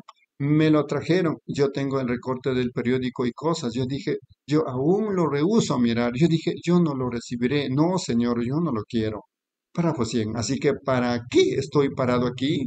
¿Por qué no estoy en casa con mi familia y todo, estando mucho mejor y vivir una vida de esa manera, en lugar de vivir separado de mi familia y, y afanarme y fatigarme y llorar y tirar y persuadir? Es porque yo tengo una comisión. Yo la debo cumplir. Muchas veces hay gente que duda, gente levantándose y, y gente diciendo, ah, no hay nada en eso. Eso, eso es bastante. Eso duele. Ven ustedes, pero de todas maneras, yo no pido un lecho de rosas, yo espero eso. Sí, Señor, yo debo pelear, si debo reinar. Sí, Señor, yo lo tengo que hacer. Nuestro Señor lo hizo, así que yo estoy aquí para tratar de ayudarlos a ustedes lo mejor que pueda. Yo los estoy tratando de ayudar. Y por favor, créanme si les digo algo y Dios lo respalda y dice que es la verdad. La Biblia dice, a Él oíd, porque yo estoy con Él. ¿Es correcto eso? Ahora, yo les estoy diciendo que cada uno de ustedes pueden ser sanados. Ustedes ya están sanados y ustedes solo pueden reconocer. Correcto. 101. Ahora, ¿quién sigue? Esta mujer aquí, miren, por ejemplo, esta mujer aquí, ahora, mire señora, somos desconocidos uno del otro. Yo no lo conozco a usted, pero usted sabe que yo sé lo que está mal en usted. La señora dice, sí, yo no dijera nada al respecto. Sin embargo, ¿cree usted que será sanada de todas maneras? Sí. ¿Cree usted esa, esa es la manera de creerlo? Esa es la manera. Usted tiene complicaciones, varias cosas mal en usted. Eso es correcto. Sus coyunturas están tiesas. Sí. Ha estado de esa manera por mucho tiempo. Yo veo un choque. O, o es un accidente automovilístico que causó eso. Eso es así, dice el Señor. ¿Es eso la verdad? La señora dice, sí, levante su mano si esa es la verdad. Ven, es, él sencillamente es el mismo ayer, hoy y por los siglos. ¿No creen ustedes eso? En el nombre de Jesús, váyase y sea sanada. Venga mi hermano, en el nombre de Jesús, váyase y sea sanado. Amén. Venga mi hermana, en el nombre de Jesús, que el Espíritu que está en mí unja a la mujer, Señor. Dios, en el nombre de Jesús, que ellos sean sanados. Amén. Venga, hermano, en el nombre de Jesús, que Él sea sanado. Si usted lo cree, entonces su problema de la espalda se irá, su asma se irá. ¿Cree usted eso? Usted tiene un hábito que quiere dejar, el fumar cigarrillo, renunciará a ellos con todo su corazón. Si yo le digo quién es usted, ¿creerá usted que verdaderamente se ha ido entonces? ¿No lo creerá? Señor Cunningham, siga su camino y regocíjese, diga gracias, Señor. Párrafo 102. ¿Creen ustedes con todo su corazón? La congregación dice amén. Ahora pongan sus manos unos sobre los otros. Todos ustedes aquí. Oh, oh, paloma, ven, paloma, cae sobre tus corderos, Señor. Oh, corderos, sean guiados por la paloma, sean sanados. Satanás, tú estás derrotado. La gente lo va a reconocer después de, que, de un rato que tú estás derrotado. Tú ya no lo puedes poseer. Jesucristo, el Hijo de Dios, está aquí y Él ya te derrotó. Tú ya estás derrotado. Tú has estado derrotado por mil años. Sal de ellos en el nombre de Jesucristo. Amén, mis amados hermanos y hermanos. Qué glorioso mensaje, glorioso tiempo que vivimos. De esta manera, mis amados hermanos, hemos concluido con este mensaje titulado El Cordero y la Paloma, servicio realizado en Yakima, Washington, Estados Unidos, día 5 de agosto del año 1960. Que quede plasmado en cada uno de vuestros corazones. Vamos a concluir sin antes anunciar para el día de mañana, si Dios permite, el siguiente mensaje a lecturar se llama a él oír, también predicado en Yakima, Washington, Estados Unidos, día 6 de agosto del año 1960. Vamos a despedirnos a través de una oración. Muchas gracias, Padre amado, por este privilegio, por esta oportunidad grande que tú nos das, Señor, por tu amor, por tu misericordia, oh Padre. Tú dijiste en primera de Juan 1.7, pero si andamos en luz, como Él está en luz, tenemos comunión unos con otros, y la sangre de Jesucristo, su Hijo, nos limpia de todo pecado, oh amantísimo Padre Celestial.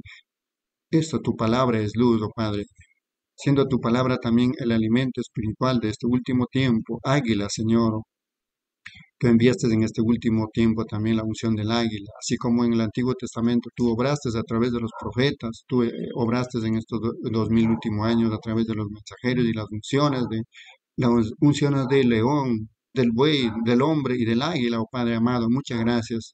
Te pedimos esta tarde, esta noche, Señor, más adelante tenemos un servicio de culto y permite, Señor, que entremos en la cena, Señor, para que tu nombre sea glorificado. Ayúdanos, Señor, guíanos con tu Santo Espíritu, Padre, en el nombre del Señor Jesucristo.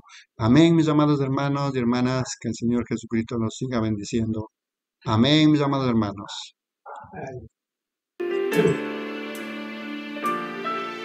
Amén. Dios les bendiga hermanos y hermanas. Shalom a todos.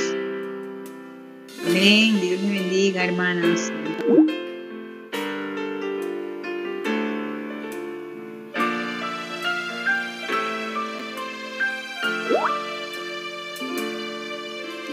Fue una escena terrible después de la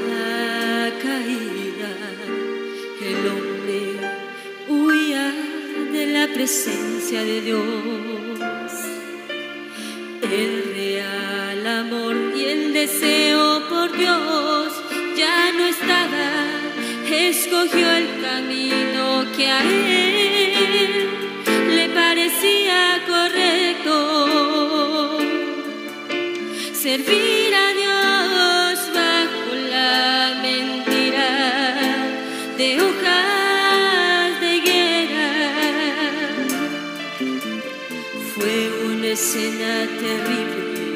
después de la caída.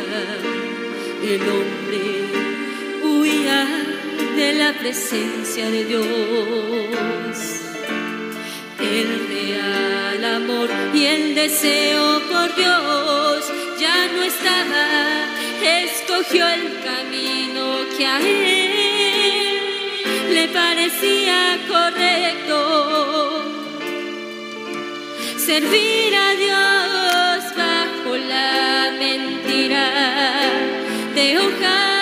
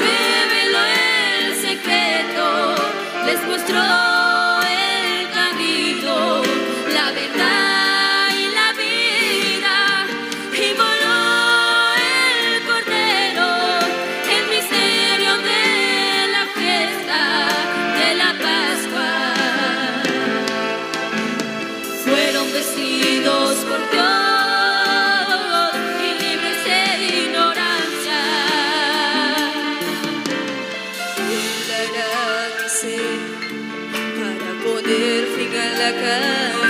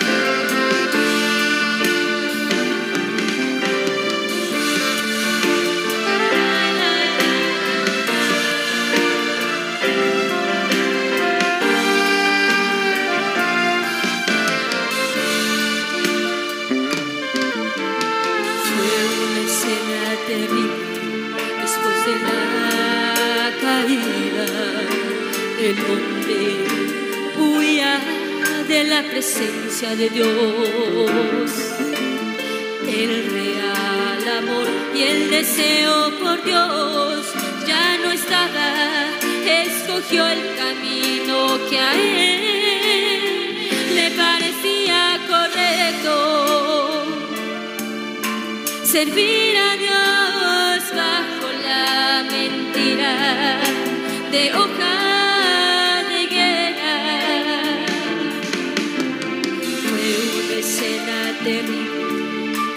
de la caída, me monté, huía de la presencia de Dios. El real amor y el deseo por Dios ya no estaba, escogió el camino que a él le parecía correr.